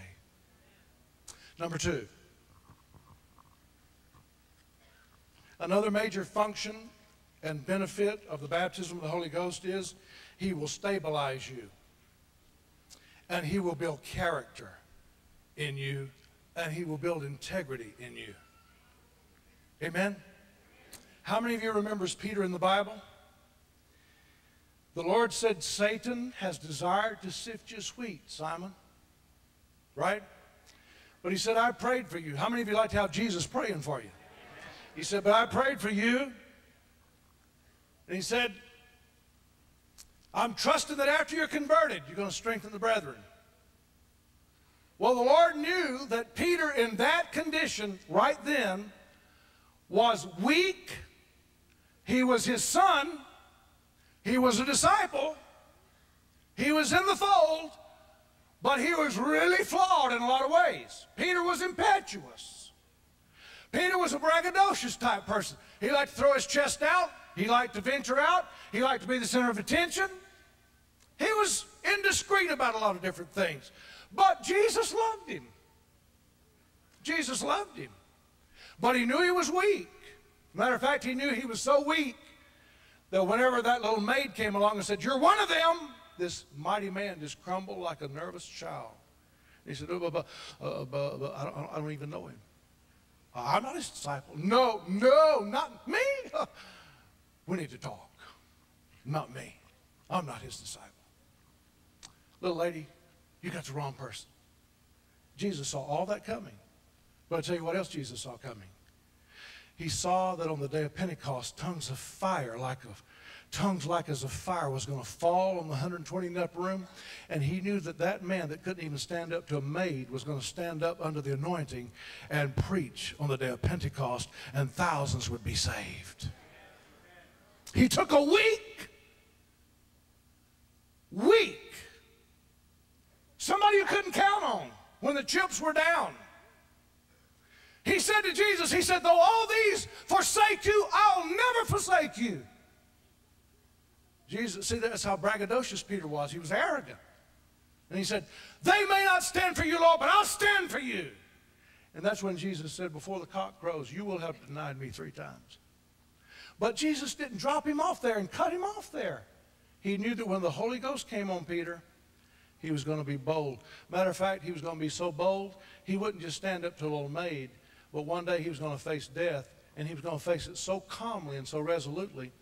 He would say, If you're going to crucify me, please don't crucify me like you did Jesus. I'm not worthy to hang like he hung. Crucify me upside down. That's what the Holy Ghost did for him.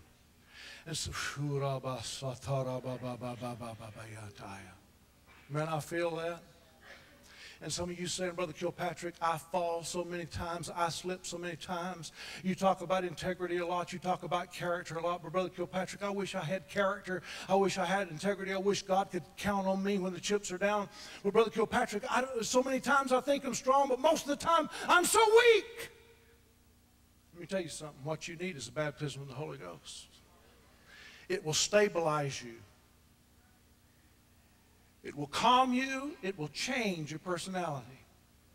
It will take the weak things of your personality, and the Holy Spirit will come on the inside of you, and He'll shore up those weak areas.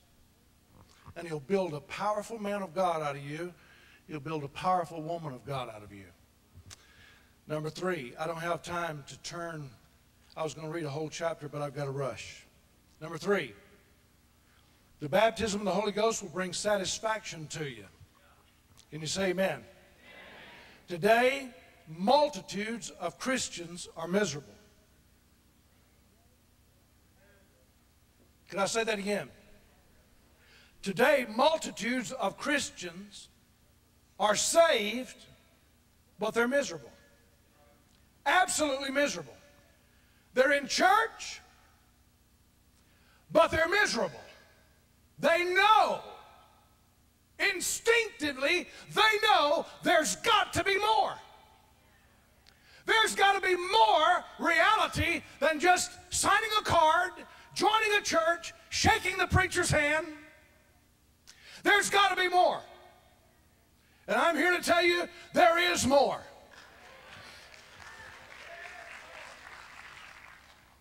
Preachers know that their congregations are miserable. Denominations know that their denominational ranks are dwindling because Christians realize there's got to be something more. And Christians are miserable. We are finally finding out that religion won't satisfy you. And church attendance won't satisfy you. We're also learning that things won't satisfy you. The stock market going to 11,000 and you making a ton of money won't satisfy you. A brand new motorcycle won't satisfy you. A brand new car won't satisfy you. A new home and land won't satisfy you. But there is a satisfying.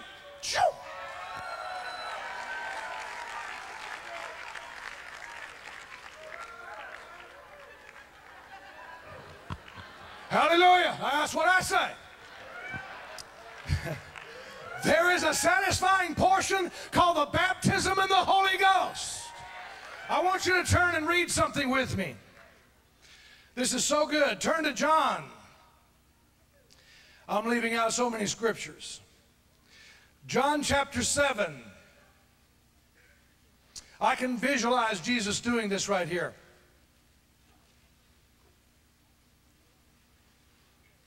It was a feast day. These were the Lord's feast. And Jesus was alive on the earth during one of the great feast days. And the Bible said in verse 37 Jesus stood up and he cried, saying, If any man thirst, let him come unto me and drink. Whew. Can you imagine that? It's like, well, Lord, what are you going to give us? Have you got a canteen up there? What have you got that we can drink if we're thirsty? Have you got a canteen? Is there a barrel up there? Is there some kind of sugar tin up there? What is it you've got that we can suck on and drink out of that's going to bring pleasure and satisfaction to us that you're offering us. What do you got? And look what he said. If any man thirst, let him come unto me and drink. He that believeth on me, as the scripture has said, out of his belly shall flow rivers of living waters. Oh, friend, let me tell you something. When you're baptized with the Holy Ghost, it's not unusual to hear people testify later. It felt like something gushed and broke and broke loose on the inside of me. And there was a river broke loose. And I began to speak forth in an unknown tongue I'd never spoken before. And oh my, the peace and the joy and the power that flooded my soul. But the word I'm talking about right now is satisfaction. Old Mick Jagger and the Rolling Stones sings that song.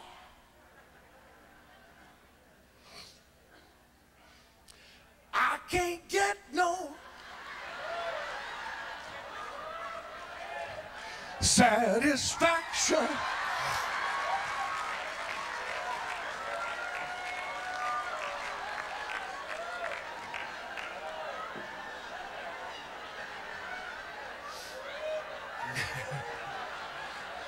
Well, have I got news for you, Mickey?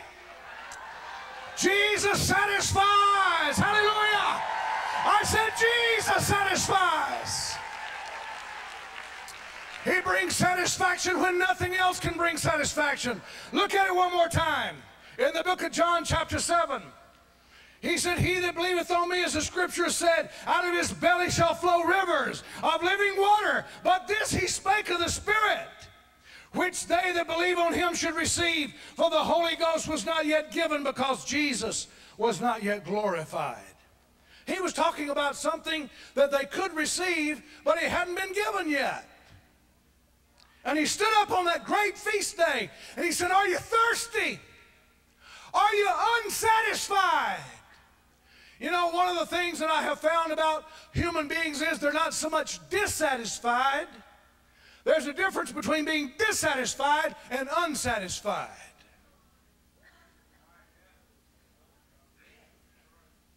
You're not dissatisfied with your home. You're not dissatisfied with your husband. You're not dissatisfied with your wife. You're not dissatisfied with your church. You're not dissatisfied with your life or with your job, but you're just unsatisfied. It's like there's something about you that you just haven't experienced yet. It's an unsatisfaction. And Jesus is saying, if you'll come to me, I can give you something that will satisfy you. Number four, the baptism of the Holy Ghost. Number four, will move you beyond happiness into joy. Happiness is an emotion. I looked this up today, and here's what it means. The word happen means luck. In Webster's dictionary, modern dictionary, the word happen means luck, fortune, chance. It just so happened. They look at it like fortune, chance, luck. That's what the word happen. Look it up in your dictionary. That's what it means. So is it any wonder that happiness deriving from happenings, a lot of times you feel like just the lucky can be happy. Just people by chance can be happy. But me, I've never been happy. Let me tell you what a new car will do. A new car will make you happy. A new home will make you happy. A new wife or new husband, first marriage. Let me take it easy here, glory to God. Will make you happy. A new puppy can make you happy. A new job can make you happy. A new thing can make you happy. But let me tell you, there's a big world and a universe of difference between happiness and joy.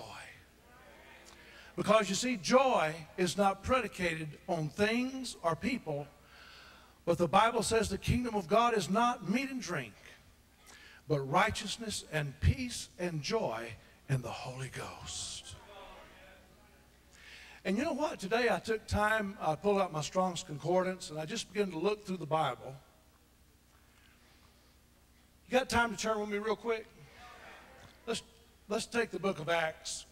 I want to show you something real quick. you don't really find the word joy a lot until you get to the book of Acts. Did you know that? Acts is full of it. Let me tell you about joy. You see, happiness is derived from a certain happening. But joy, nothing can be happening at all. As a matter of fact, everything can be happening against you, and you can still have joy. Are you listening? Everything can be working against you. You can have just suffered loss. You can have just suffered one of the greatest setbacks you've ever suffered, and you're laughing. And people says, poor thing. Poor thing. He's lost it. No, he found it. Amen? Can you say amen? He lost it. No, he found it. What did he find? The Lord. The Holy Spirit gives you joy unspeakable and full of glory. Matter of fact, I remember years ago, I, I met Christians, powerful Christians, old time Pentecostal Christians, and I used to always want to fish their testimony out of them. How God saved them and how He filled them with the Holy Ghost and how He put this back together and how He did that. And I used to just sit and listen to people's testimonies by the hours. Back when I was a boy, we used to have cottage prayer meetings. And I used to go to those cottage prayer meetings with my mother, and I'd listen to people. And then at the cottage prayer meetings, I'd see people just be slain in the spirit of their homes, cottage prayer meetings, home meetings, and they would just break out laughing and just laugh uncontrollably. Somebody says, Now that bothers me, Brother Kilpatrick, glory to God. The laughter bothers me, hallelujah. Depression doesn't bother you, but laughter bothers you. Hallelujah. You're on Prozac, that doesn't bother you, but now somebody, oh, that troubles me so much. Isn't that crazy? Friend, I believe there's a time and a season for all things. I believe there's a time to laugh, there's a time to weep.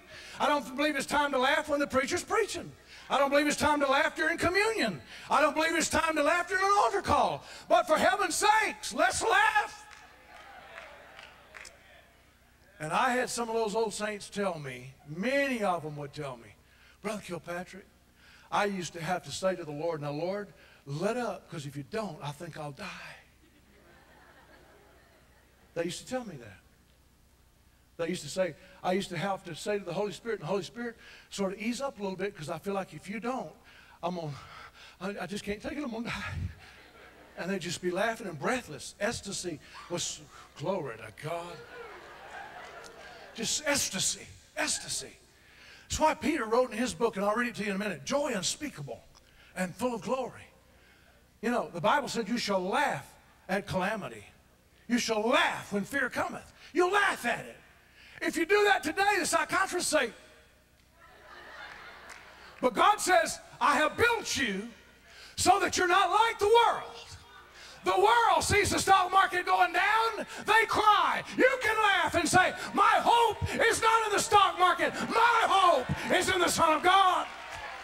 Somebody shout, Amen. My hope is not in George W.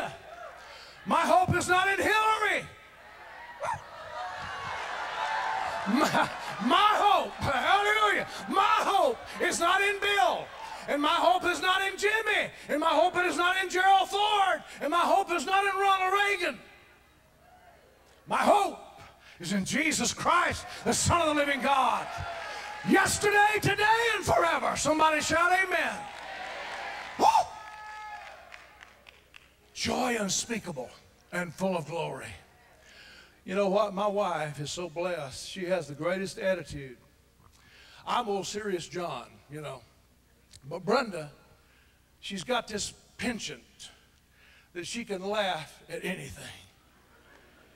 Y'all remember the night Steve Hill's told about how they all got on that airplane, you know, and they was flying from Michigan. See, God gave me good sense. Hallelujah, glory to God. And they all loaded up and got on the airplane, was flying from Grand Rapids home, and they got this horrible storm, and, and, and, and the pilot was just beads of sweat all over me, lost control of the plane. The plane was diving, and they was Jesus, Jesus, Jesus, Jesus. And Brenda was,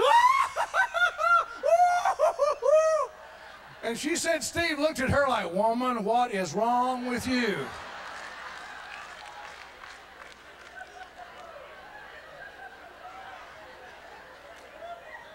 Joy unspeakable and full of glory. The Bible says you'll laugh when calamity cometh. Somebody says, Oh, Brother Kilpatrick, things are getting really bad. Just like the Lord said. You know, that's the way it ought to be. This getting, this getting down and morbid over things. You know, the Lord at least gave us 2,000 years warning. Amen? And it's like, ah, here it is. But you ought to be on top enough now and walking in the Spirit enough now that you can say, Glory, He's about to come. Hallelujah. I know in whom I have believed, and I am persuaded that He's able to keep that which I've committed unto Him against that day. Glory. Now, number five. Hallelujah. Number five. Go to Ecclesiastes 4.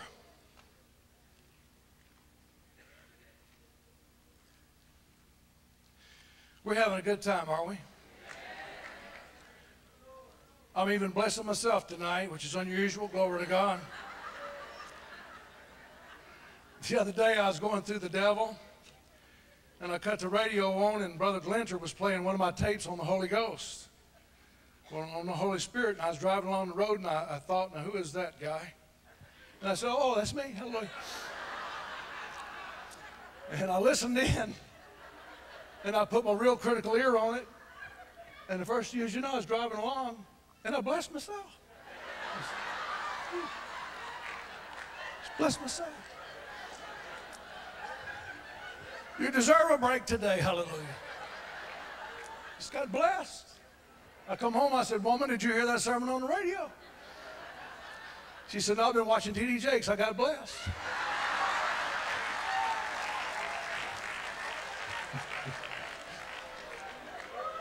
oh, hallelujah. Ecclesiastes. Chapter 4, glory.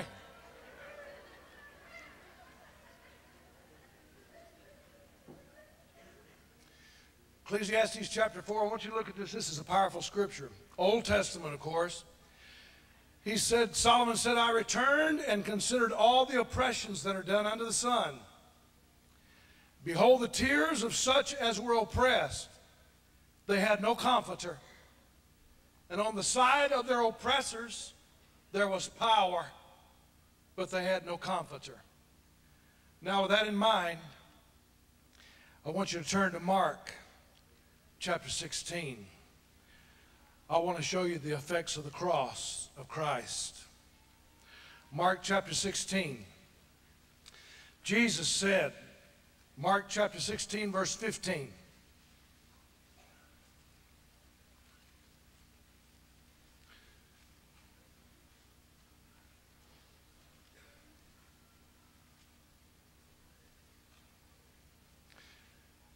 Hold your finger right there and go to the book of Acts, chapter 1. Acts, chapter 1,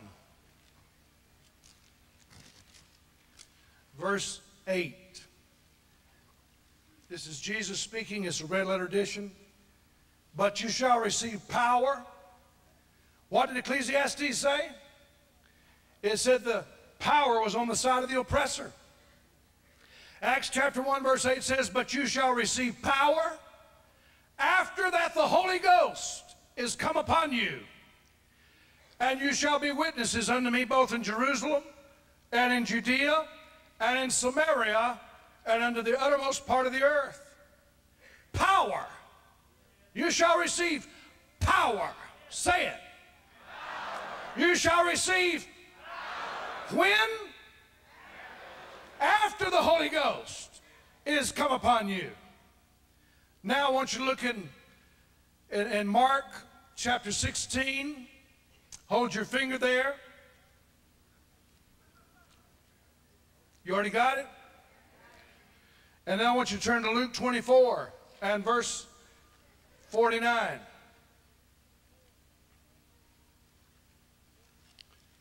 want to show you something.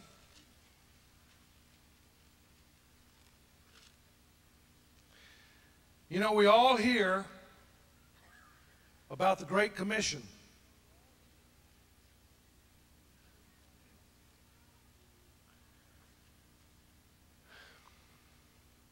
But the Great Commission comes in two parts.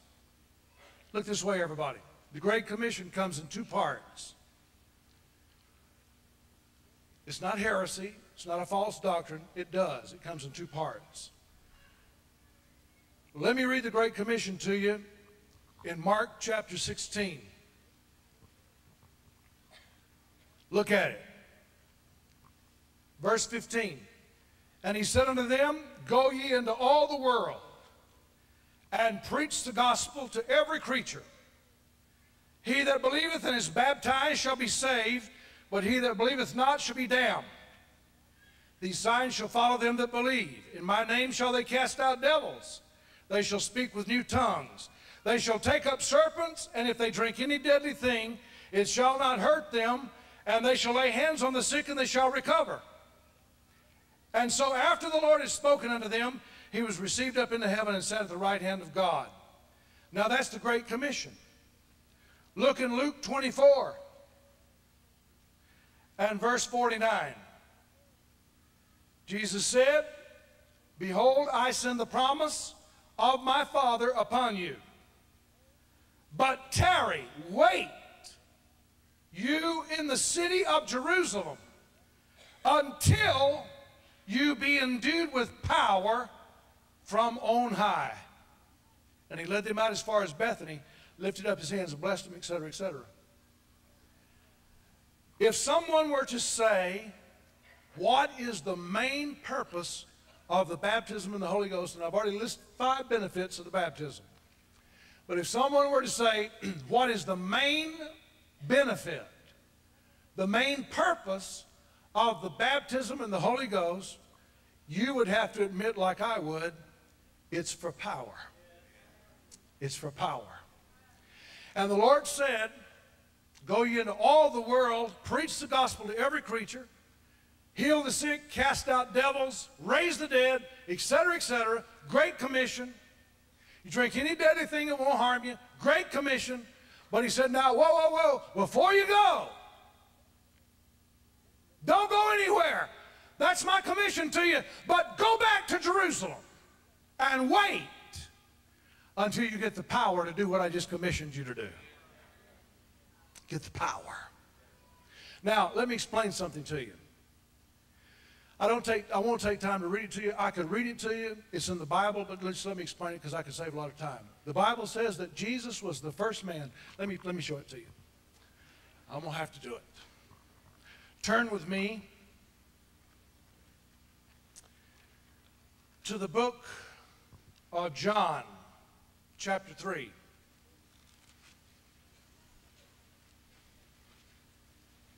And I'm closing. I've been going an hour and five minutes. I'm closing. In just a few minutes. I'm closing. Jesus was the first man, the first person, the first human, although he was God, he was still human, to ever receive the Holy Ghost without measure. Before him, everybody else had received the Spirit of God, but in measure. It was meted out to them. For example, the Bible says that God took the Spirit that was on Moses and took the Spirit that was on him and divided it up and put it on the 70. Read it for yourself. God took the Spirit that was on Moses and put it on the 70. The Bible says that Elijah had an anointing good for 15 miracles.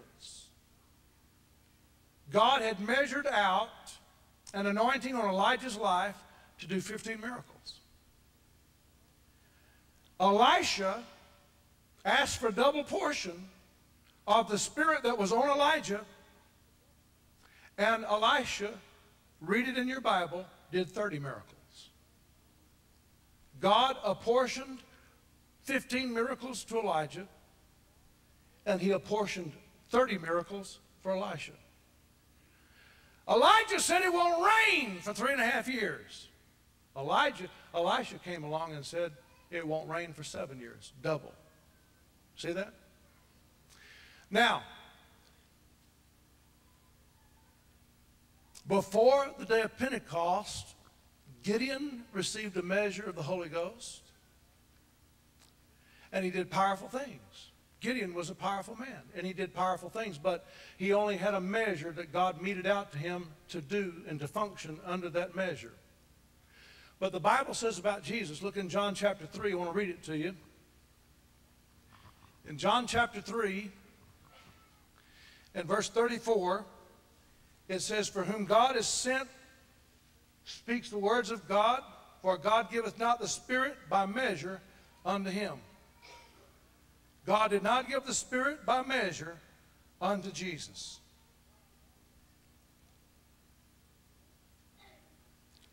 So Jesus was the first one to receive the Spirit without measure. Bam, bam, bam, bam, bam, bam, bam, bam, bam. He was sinless. He never sinned, so he was saved. And God let the Spirit come on Jesus without measure. He just had carte blanche.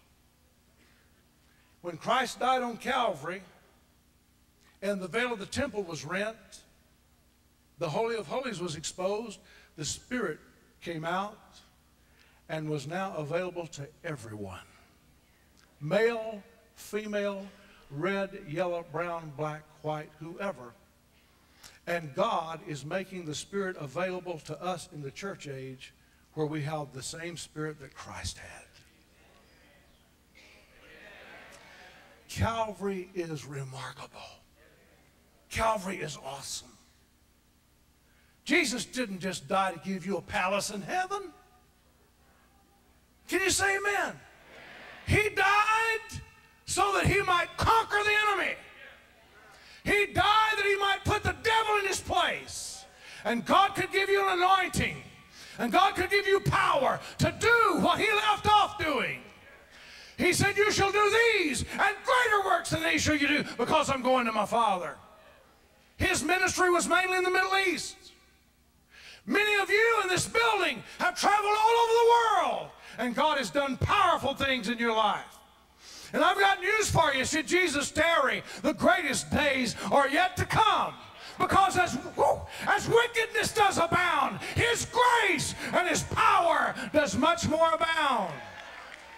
So God has made available the Spirit of God to you. Remember what I read to you a while ago, and I'm closing. This is the last thing I'm going to say. The Bible said, Solomon said, In the days I have considered everything under the sun. And he said, The power was on the side of the oppressor. And when Jesus came, the power was still on the side of the oppressor. But Jesus invaded that realm. And what he said was, I want you to look at me like Elisha looked at Elijah. I want you to see how I do things. I'm not bound by the oppressor. I have power over the oppressor. And I, oh, he said, all power is given unto me in heaven and in earth. Somebody shout amen. All power is given unto me. And he said, You shall receive power after the Holy Ghost has come upon you. I don't know about you, but I hate to see people mistreated. I hate to see people mistreated. I hate to see something happen to somebody and get beat up and get kicked around and get beat in the streets of Los Angeles, drug out of a truck. I hate to see that. I hate to see that little Samantha Runnion taken out, grabbed in the front yard. You know what that little precious thing said? She's out there playing in a friend with a friend in the front yard, in the backyard. And that guy come up there and snatched her. And that precious little thing, while she was being hauled away, she said to her friend, a little tooth missing in the front.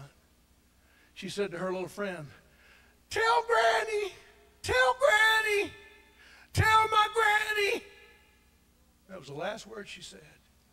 Tell my Granny. And they found that little thing dead and fixed in such a way out there in that desert that the cops threw up. I hate that. But I got news for you. Jesus, uh, Solomon said, I looked and I saw, and behold, the power was on the side of the oppressor. But I got good news for you. Jesus has come. I said, Jesus has come. Hallelujah.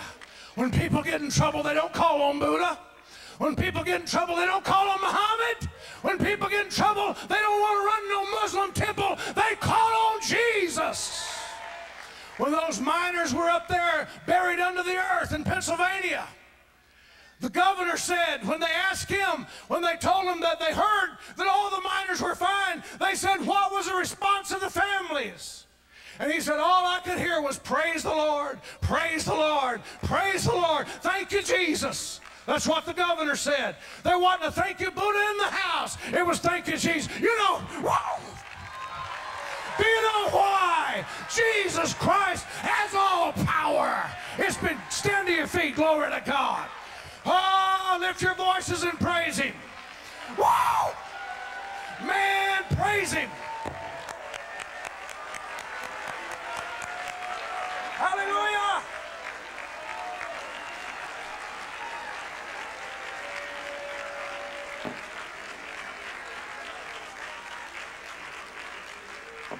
Hallelujah! Glory! Somebody says, Brother Kilpatrick, why do I need the baptism of the Holy Ghost? You need it for these five benefits. Number one, He'll give you constant evidence because the Holy Spirit lives on the inside of you. He'll give you constant evidence that you're accepted by God. Number two, He'll stabilize you and make you strong and bold in the Lord. He'll take the wishy-washiness out of you.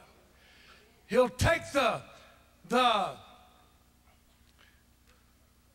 up and down, in and out, shamefacedness off of you, where you fall and falter so many times, he'll take it off of you. Number three, he'll give you a satisfying portion. He'll satisfy your soul. He'll satisfy you. Jesus said, If any man thirst, let him come to me and drink, and I will give him waters that'll satisfy him. Number four, he'll cause you to have joy.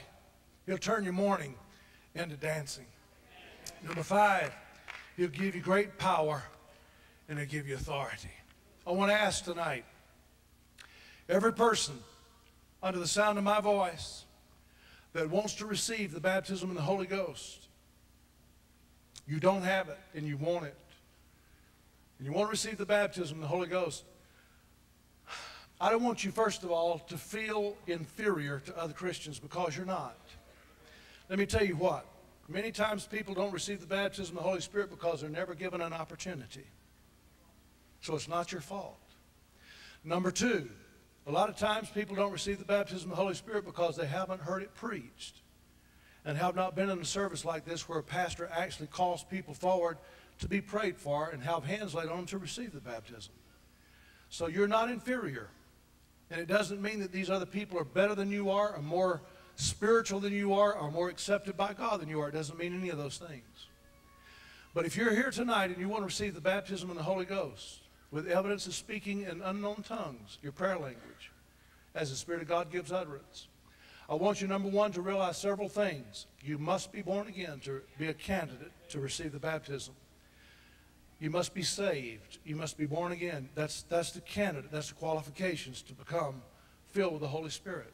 You must be saved, washed in the blood, your sins under the blood. Now, you might be saying here tonight, Brother Kilpatrick, if I smoke, or if I dip, or if I chew, or if I cuss, and I hate those ha- bad habits, you think the Lord would fill me with the Holy Spirit.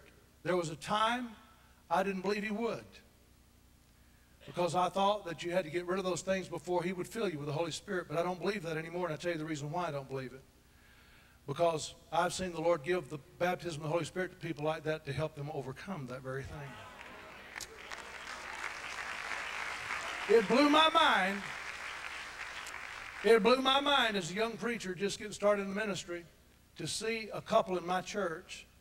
Both of them smoked, and they both got baptized in the Holy Ghost and had cigarettes all over their breath when I was praying for them. And I said, Lord, you can't do this. but you know what? Filled them with the baptism of the Holy Spirit, gave them power to overcome that damnable habit. And they laid them down and never touched them again. You know who I'm talking about in Warner Robins. And, you know, dipping and chewing, those are nasty habits, friend. Glory to God. Both my grannies used to dip snuff. And I used to go visit them. And I'd go to Mama's Mama's house first. She'd say, Come here, Alden. And she'd grab me and kiss me and leave snuff on his cheek. And then I'd go over to visit my daddy's mama. And she's a big old woman.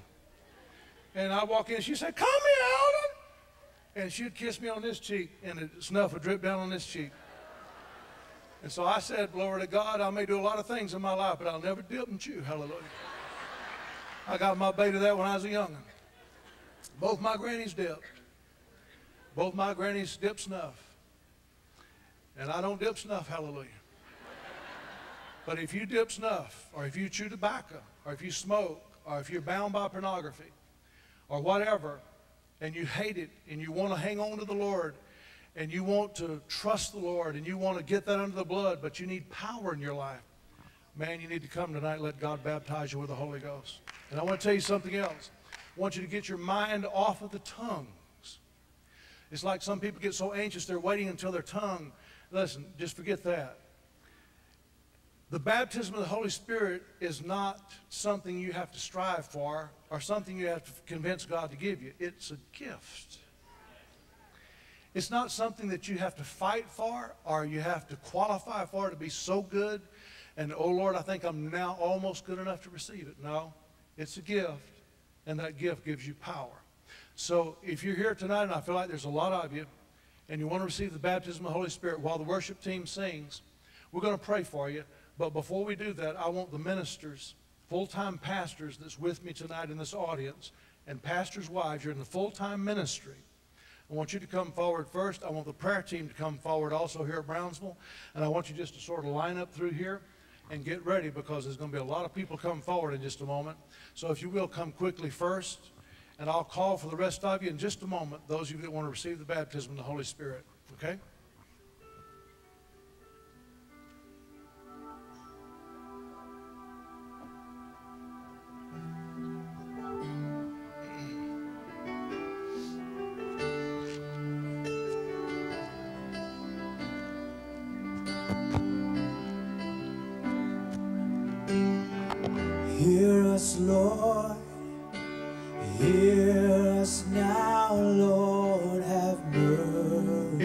Receive the baptism of the Holy Spirit, come on. Come on right now. Just fill these aisles, and we're going to move through here and begin to pray for you. Go ahead, come on.